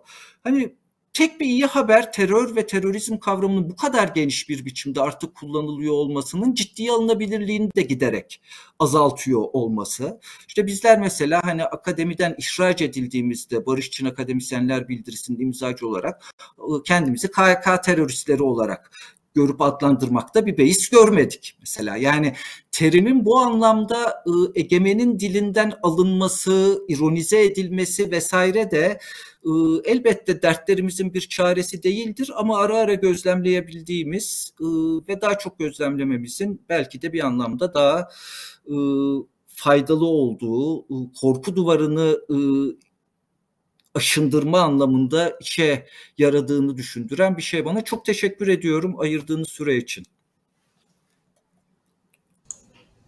Biz teşekkür ederiz hocam. Çok e, yine güzel bir sunumdu. E, tam ihtiyacımız olan e, toparlamayı yaptınız diye düşünüyorum. E, az bir vaktimiz kaldığı için e, hemen soru cevap kısmına geçmek istiyorum. E, eğer sorusu olan varsa yine dediğim gibi YouTube'da yorumlar kısmına yazabilir. E, arkadaşlar bize iletiyorlar oradan soruları. E, aslında Serdar Hoca'nın e, sunumuyla da çok bağlantılı e, ve diğer konuşmacıların da e, açabileceğini düşündüğümüz bir e, soru var. E, o da şu, e, pardon, e, ekranımda göremiyorum şu anda. Evet.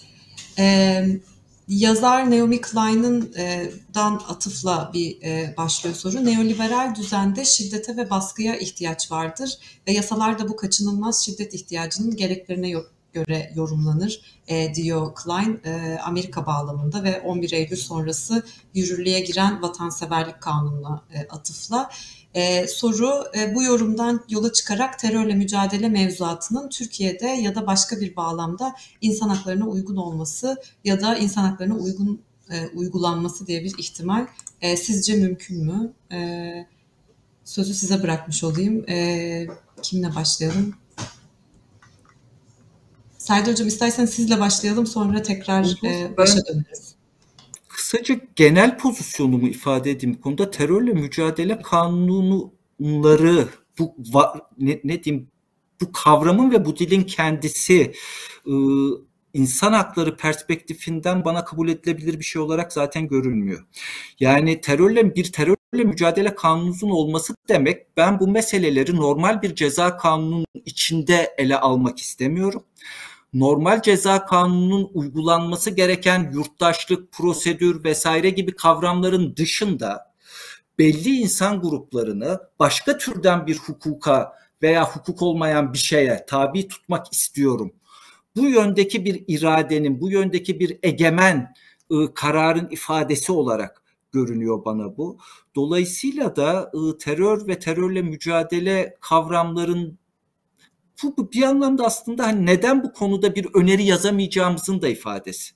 Yani güvenlik meselesini evet başka terimlerle düşünmemiz gerekir ama güvenlik terim meselesini başka türlü te, başka terimlerle düşünmemiz için başka bir siyasete, o siyaseti inşa eden başka toplumlara, o toplumların o siyaseti inşa etme mücadelesine ihtiyacımız var. Güvenlik meselesi mesele olmaktan çıkmaz ama güvenliği hangi toplumsal formasyonun hangi siyasi perspektifle e, konuştuğu, tartıştığı ve çözmeye çalıştığı e, sorusu bence asıl soru. E, terör dili ve terörle mücadele kavramı güvenlik bakmanın bir biçimi ve işte neoliberal dünyanın çok çeşitli baskıcı yerel geleneklerle de eklemlenerek hakim hale gelmiş ıı, hegemonik biçimi. Ben bu biçime kategorik olarak karşı çıkmamız gerektiğini ıı, net olarak düşünenlerdenim. Böyle söyleyeyim. Eren Hanım sizle devam edelim isterseniz. Yani ben e, Serdar Hoca'nın söylediklerine katılıyorum. Bir de tartışmadığımız bir şey burada, e, daha doğrusu benim sürem yetmediği için konuşmadığımız bir şey. Şimdi başka bir yasa daha var bizim sivil toplumu engelleyen, sivil topluma bir baskı aracı olarak kullanılan. O da terörizmin finansmanının önlenmesi sözleşmesi. Mesela e, sözleşmesi ve yasası. Türkiye Cumhuriyeti Devleti bu sözleşmeyi uzun süre imzalamadı, yasayı da geç çıkardı. Ama bu e, şey amacının e, yani yasanın lafzına ve ruhuna tamamen aykırı bir biçimde uygulanıyor. Dün örneğin biz bir davaya girdik e, aslında bu ülkelerdeki işte kara paranın önlenmesi, kitlesel imha silahlarının e, yayılmasının önlenmesi, insanlık suçu oluşturan eylemlerin yapılabilmesi için fon sağlanması na ilişkin bir yasa. Ama öyle bir mevzuatları ve bunu hayata öyle bir yaygınlaştırmışlar ki bu yasayı kendi e, devletlerinin yarattığı imkanlarla tam bir kara para cenneti haline gelen bu coğrafyada dava açılması gerekenlere, izlenmesi gerekenlere açılmıyor bu soruşturmalar. Cezaevlerine 100 lira, 200 lira yatıran insanlara açılıyor. Yani sizi bu sistemin öyle bir parçası haline getiriyorlar ki yani dün mesela girdiğimiz duruşmada hakimin sorduğu sorular ve sonunda biz isyan ettik. Cezaevinde siyasi suçlu olarak kalan insanları ziyaret etmek bile terörizmle eşdeğer olarak görülüyor.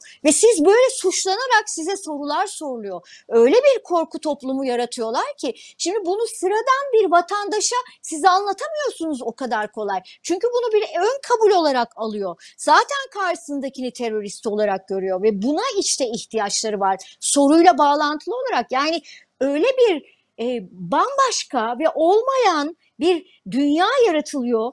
Öyle bir suçlular, teröristlerin varlığı gibi bir durum yaratılıyor ki sıradan vatandaş buna inanıyor. Gerçekten biz bekamız yara alacak, devletimiz bölünüyor. Böyle bir algı yaratarak işte yönetmeye devam ediyorlar bu coğrafyayı. Yasaları da çıkarılış amacına uygun olmayan bir biçimde uyguluyorlar. Yani esas olarak Uluslararası Af Örgütü'nün de raporu var. Türkiye'de mesela bu son sözünü ettiğim yasa gerçekten uygulanması gerekenlere değil sivil topluma uygulanıyor. Bunu da bir parantez olarak burada söylemek istedim. Evet, teşekkürler. Ee, sırada Ali Bey'le devam edelim isterseniz. Ee, şimdi bu e, küresel eğilim olarak olağanüstü halin e, sanki olağan bir yönetim modeliymiş, tercih edilen model olarak öne çıkması özellikle Serdar Hoca'nın bunu neoliberal e, politik bakışın e, bir yönelimi, bir tercihi ve bir tür sonucu olarak e, anlatımı gayet yerinde ve zaten e, şiddet, terör kavramının kullanılması ve e, şiddetin e, bu güçler tarafından e, hem meşrulaştırılması hem de meşru veya gayrimeşru e, birçok e, hukuki, siyasal hatta kültürel alanlarda uygulanması ihtiyacı sanki bu güçler açısından kaçınılmazmış gibi görünüyor. Elbette bu kabulü mümkün olan bir şey değil ama mesele biraz şu. Bizim konuşmalarımızda nispeten kısıtlı kaldı. Serdar Hocam önemli bazı vurgular yaptı. Şimdi neoliberal sistemin bir özelliği de çok ağır bir yoksullaşmaya yol açması ve iki boyutlu bir yoksullaşması bu. Hem yatay yani yoksul nüfusların çok artması hem de dikey boyutta yani yoksulluğun niteliğinin çok derinleşmesiyle sonuçlanan bir politik sistem tercihi. Böyle olunca da e, bu yoksulluğun yol açabileceği e, itirazlar, isyanlar e, ve bu sisteme yönelik şikayetlerinin olası e, örgütlenmelere yol açma ihtimali neoliberalizmin aynı zamanda e, bir tür kaygısı, korkusu. E, terör kavramına güçlü biçimde başvurmaları e, aslında bununla ilgili Türkiye'de de zaten bir işte kolonyalist tarihten Türk Kürtler üzerinden geleni var. Bir kendi iç sınıf sosyal ve siyasal mücadeleleriyle sol sosyalist hareketlere karşı geliştirilen bir boyutu var. Ama şu anda ana tercih, ana tehdit olarak devletin gördüğü şey evet e, Kürtler her zaman var ve bu manada öncelikliler ama aynı zamanda Kürdistan hem bir tür laboratuvar olarak kullanıp bütün toplum için ve olası bu türden itirazlara e, yönelik bir e, terör kavramı ve e, kontur terör fikri geliştiriyor. Bu küresel e, planda da e, yoğun bir eğilim. Mesela 90 2011-12'lerde e, e, en çok biber gazı alan e, politik mercilerden e, bir tanesi e, Londra Belediyesi'ydi. E, ve birçok e, Avrupa ülkesinde de e, benzer bir e, eğilim var. Dolayısıyla e, hani olağanüstü halin e, bir egemen yönetim modeli haline e, gelmesine yönelik güçlü bir arzu e, görülüyor ve bu terör kavramını hep kullanacak. Kontrterör metotlarını meşru ve makul olarak sunmaya ve satmaya çalışacak. E, Türkiye bir yandan e, bu bakımdan e, küresel eğilimleri takip eden ve ona, ona uyum sağlayan bir yer. Ama bir bakımdan da özellikle Kürtlerle ilgili tarihsel sebeplerden e, ötürü ve iç sınıf mücadelelerindeki yöntemlerinden 12 Eylül'le belirlenen yöntemlerden ötürü aynı zamanda küresel neoliberal güçlerin arzuladığı yönetim modeli konusunda çok etkileyici ve başarılı bir e, laboratuvar e, niteliğini taşıyor. Yani e, Trump'ın Erdoğan'ı taklit etmesi birçok bakımdan e, aslında bununla e, ilgili. Yani Türkiye Avrupa'nın gerisinde, arkasında ve oradaki gelişmeleri takip eden bir ülke değil. Aslında e, bu türden arayışları, deneyimleri bu e, otoriter, totaliter, faşizan yönetsel modeli, neoliberal e, güçlerin ihtiyaç duyduğu bu yönetsel e, ve politik modelin en iyi laboratuvarlarından e,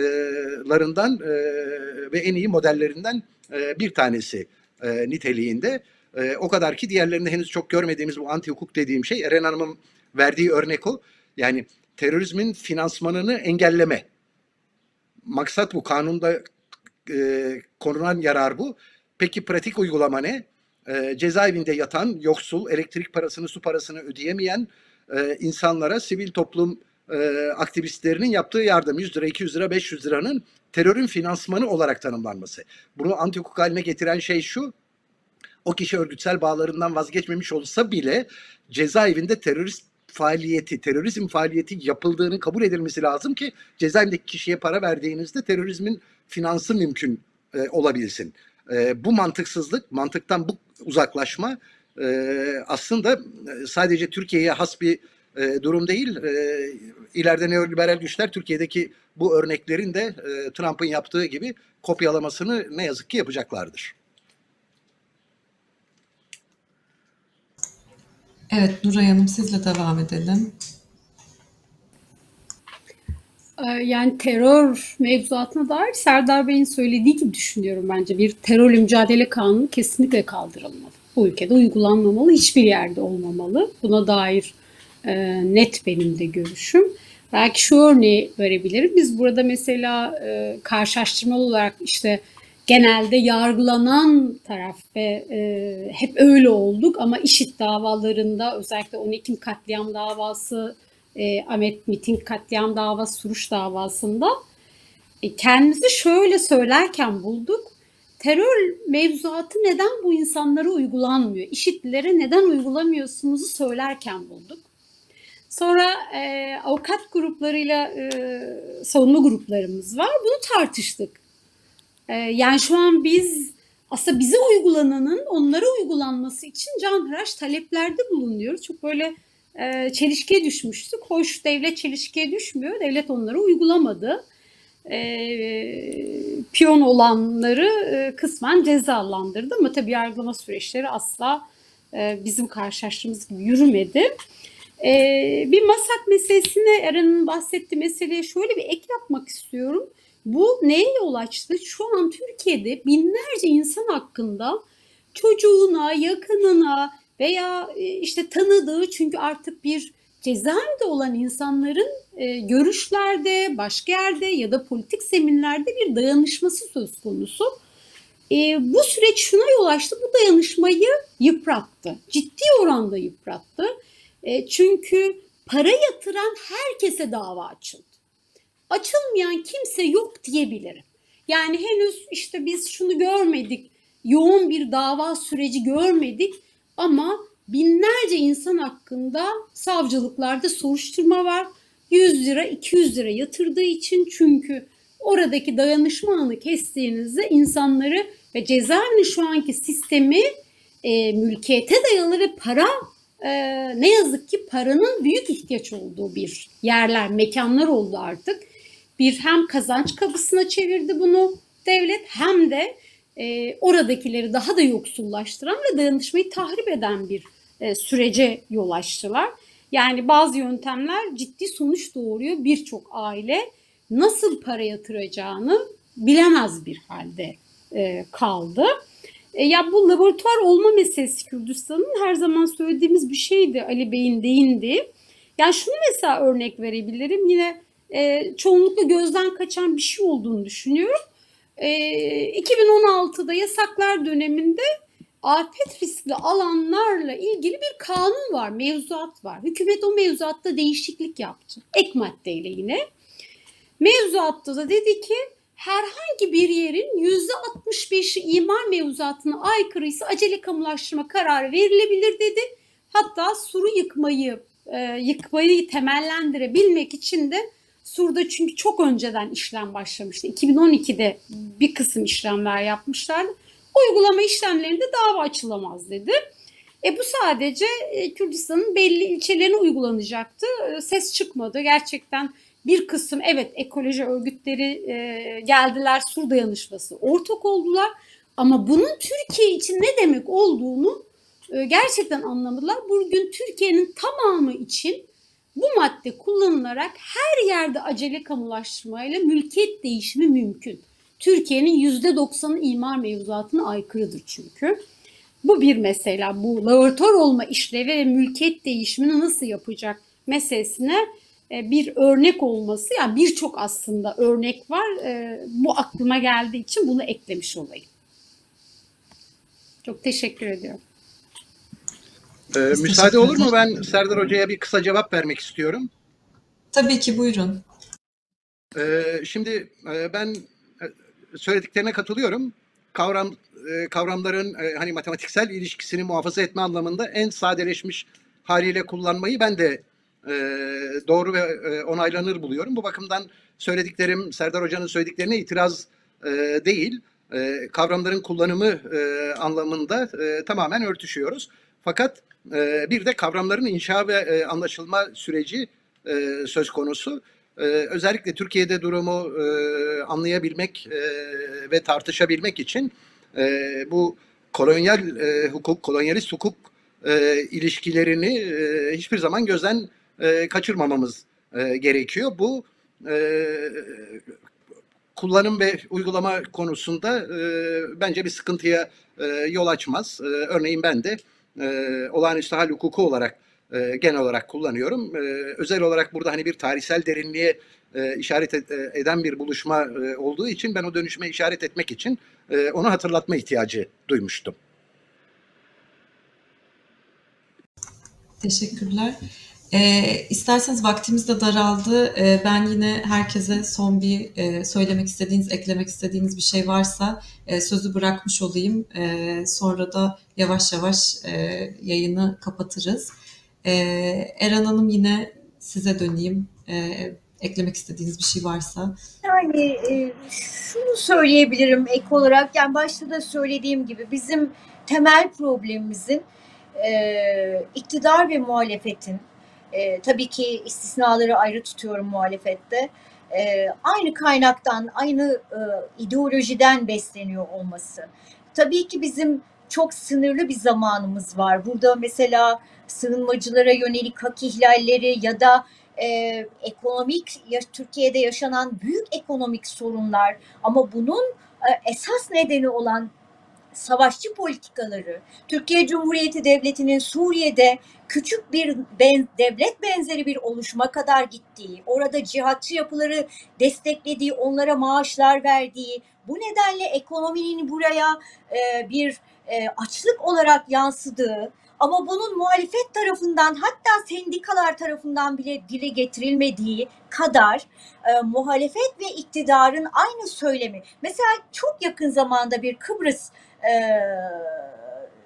meselesinin yeniden yıl dönümü değil mi? Mesela Kıbrıs meselesi hiç e, hiç e, tartışmadı bu coğrafyada sol. Nasıl Ermeni soykırımı tartışmadıysa Kıbrıs oysa Türk militarizminin tam ana kumanda merkezi, Türk derin devletinin ana kumanda merkezi ve biz bunları tartışmıyoruz.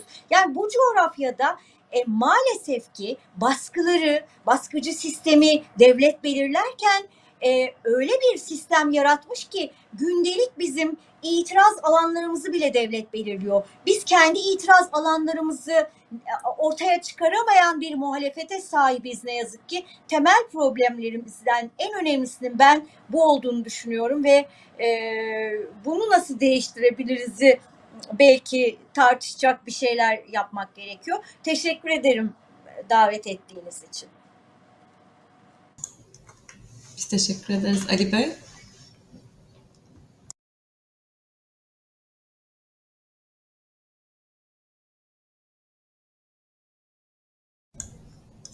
Ses kapalı sanırım. Duyamıyoruz. Ee, kusura bakmayın. Ee, bu tartışılarak bitecek bir mesele e, değil. Ee, dedemin bir lafı vardı. İşler yapmakla bitmez, bırakmakla biter diye. Ee, bir yerde bırakmak e, gerekiyor. Sadece e, şunu da söylemek lazım. Hukuku her konuştuğumuzda hukuku hukuk haline getiren, onun cariliğini, uygulanabilirliğini, e, yürütülebilirliğini sağlayan güç meselesini de konuşmamız gerekiyor. Eğer e, bireyliği, yurttaşlığı e, ve yurttaşlık haklarını toptan ortadan kaldıran hem yerel yani Türkiye için hem de küresel bir eğilim içindeysek olağanüstü halin her yerde e, olağan hale dönüşmesi ürkütücü biçimde e, sistematik e, denilecek şekilde neredeyse gidiyorsa tartışmalarımıza aynı zamanda bunu durduracak e, mücadelede güçler birliğini, güçler ortaklaşmasını, e, dayanışmayı e, ve direniş örgütlenmelerini e, nasıl oluşturacağımıza da e, kaydırmak gerekiyor benim kanaatime göre. Örneğin Türkiye'den çok basit küçük bir örneği e, 90'lardan itibaren verebiliriz. AK Parti döneminde özellikle bu çok kesindi. Temas noktaları her zaman en öfkelendiği şeydi. Kürtlerle işçiler buluşuyorsa, öğrencilerle işçiler buluşuyorsa, sosyalistlerle Kürtler ya da işçiler buluşuyorsa, akademisyenlerle Kürtler e, ya da diyelim Ermeni meselesindeki faaliyet içerisinde olanlar buluşuyordu, buluşuyorsa devletin olağanüstü öfkesini gördük. AK Parti döneminde özellikle bu çok mutlak e, bir meseleydi. Çünkü peşine düştükleri şey bu buluşmaların kalıcı olması e, ile, kalıcı olması ile ancak ortadan kaldırılabilir. Dolayısıyla hukuktan bahsetmek, hukuka inanan insanlar, hukukun gerekliliğine inanan insanlar olarak hukuktan bahsetmeyi, hukuku e, yürütüle, yürütülebilir, e, uygulanabilir hale getirebilecek, yani olumsuzlukları ortadan kaldırabilecek güçlerin nasıl oluşacağı, nasıl buluşacağı, e, nasıl kalıcı e, ve dayanabilir e, halde e, olacağını tartışmayı kaydırmamız gerekiyor bence. Çok teşekkürler. Nuray Hanım. Ben de çok teşekkür ediyorum e, program içinde. Gerçekten tartışmada e, böyle sonlandırmak istemeyeceğim bir tartışma. E, konuşmak gerekiyor üzerinde. Ama tabii bu çalışmaların, bu söylemlerimizin bir amacı var. Benim açımdan bu ülkede demokrasi ve barışın örgütlenmesi ve sokakta örgütlenmesinin araçlarını yaratmak. Ee, yoksa bir e, yasallık zemininde tartışacağımız şeyin sınırları çok belli. E, ben bir örnekle bunu kapatayım. E, Kobane davasında e, mahkeme e, kararında yorumlarken verdiği cezayı ve şunu belirteyim. E, parti içerisindeki sosyalist Kürt olmayan sosyalist arkadaşlara ve bu birlikte mücadeleyi devam etmekte ısrar eden arkadaşlara çok yüksek cezalar verdi mahkeme. Bir ayrım gözetti. Bir aslında kategorize etti ve e, hakikaten bir e, ben hep şöyle diyordum yargının, istihbaratın ve hükümetin ortak kararıyla çıkan bir e, ilginç bir karardı. Burada şunu söyledi. Bu anlarda Anayasa Mahkemesi'ne yaptığınız başvurularda da Anayasa Mahkemesi aynısını söyledi red ederken e, başvuruları kabul edilemezlik verirken. Dedi ki görüş ve beyanlarıyla yargılama sırasındaki beyanlarıyla bu e, siyasette ve bu görüşlerde ısrar ettiği açık bir şekilde anlaşılmaktadır gibi bir kelime, e, bir kavram kullandı. Mahkeme de cezayı yüksek verirken böyle temellendirdi. Aslında e, işte Ali Bey'in son bağladığı nokta e, devlet ve iktidar güçleri e, yolu bize aslında daha açık gösteriyor. Mesele bu demokrasi ve özgürlük mücadelesi ısrar ve bu ısrarı birlikte hangi alan olursa olsun bugün e, bu toplantı olur, bugün başka yer olur, bugün sokak olur, bugün başka bir işçi eylemi olur ya da bugün kayyumlara karşı bir eylemde buluşma olur. E, bu alanlarda e, birlikte olmanın ve o ısrarın mahkemenin vurguladığı aslında bir yargı kararı değildi elbette ki onlar vurguladığı meselede aslında ısrarı sürdürmek. Böyle sonlandırmak isterim. E, tekrar teşekkür ediyorum hem dinleyenlere hem katılımcılara. Teşekkürler Erdar Hocam. Valla bana meslektaşlarımın beyanlarına katılmak dışında bir şey kalmadı. Ortak mücadele, dayanışma e, vurgularına e, can gönülden e, katılıyorum. Bu öyle ya da böyle önümüzdeki süreçte e, hayatın nesnelliğinin bir araya getireceği e, aktörlerin e, mücadelesidir Türkiye toplumunun gelecek umudu e, bence de. E, yaşayacağız, göreceğiz. E, birbirimizin yanında durmamız çok kıymetli.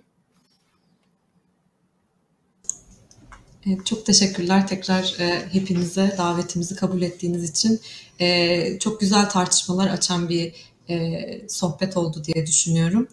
E, bugün e, terörle mücadele kavramını, terör kavramını bütün e, belirsizliğiyle, keyfiliğiyle, çelişkileriyle, nasıl kolonyal reflekslerle uygulandığını, nasıl eşitsizlik içinde uygulandığını da konuştuk ve belki de bizim bu kitabın başlığına koyduğumuz 1980'den de geriye gitmemiz gerektiğini, 23'e hatta 15'e gitmemiz gerektiğini de e, konuştuk. E, gerçekten çok ufuk açıcı bir tartışmaydı bence.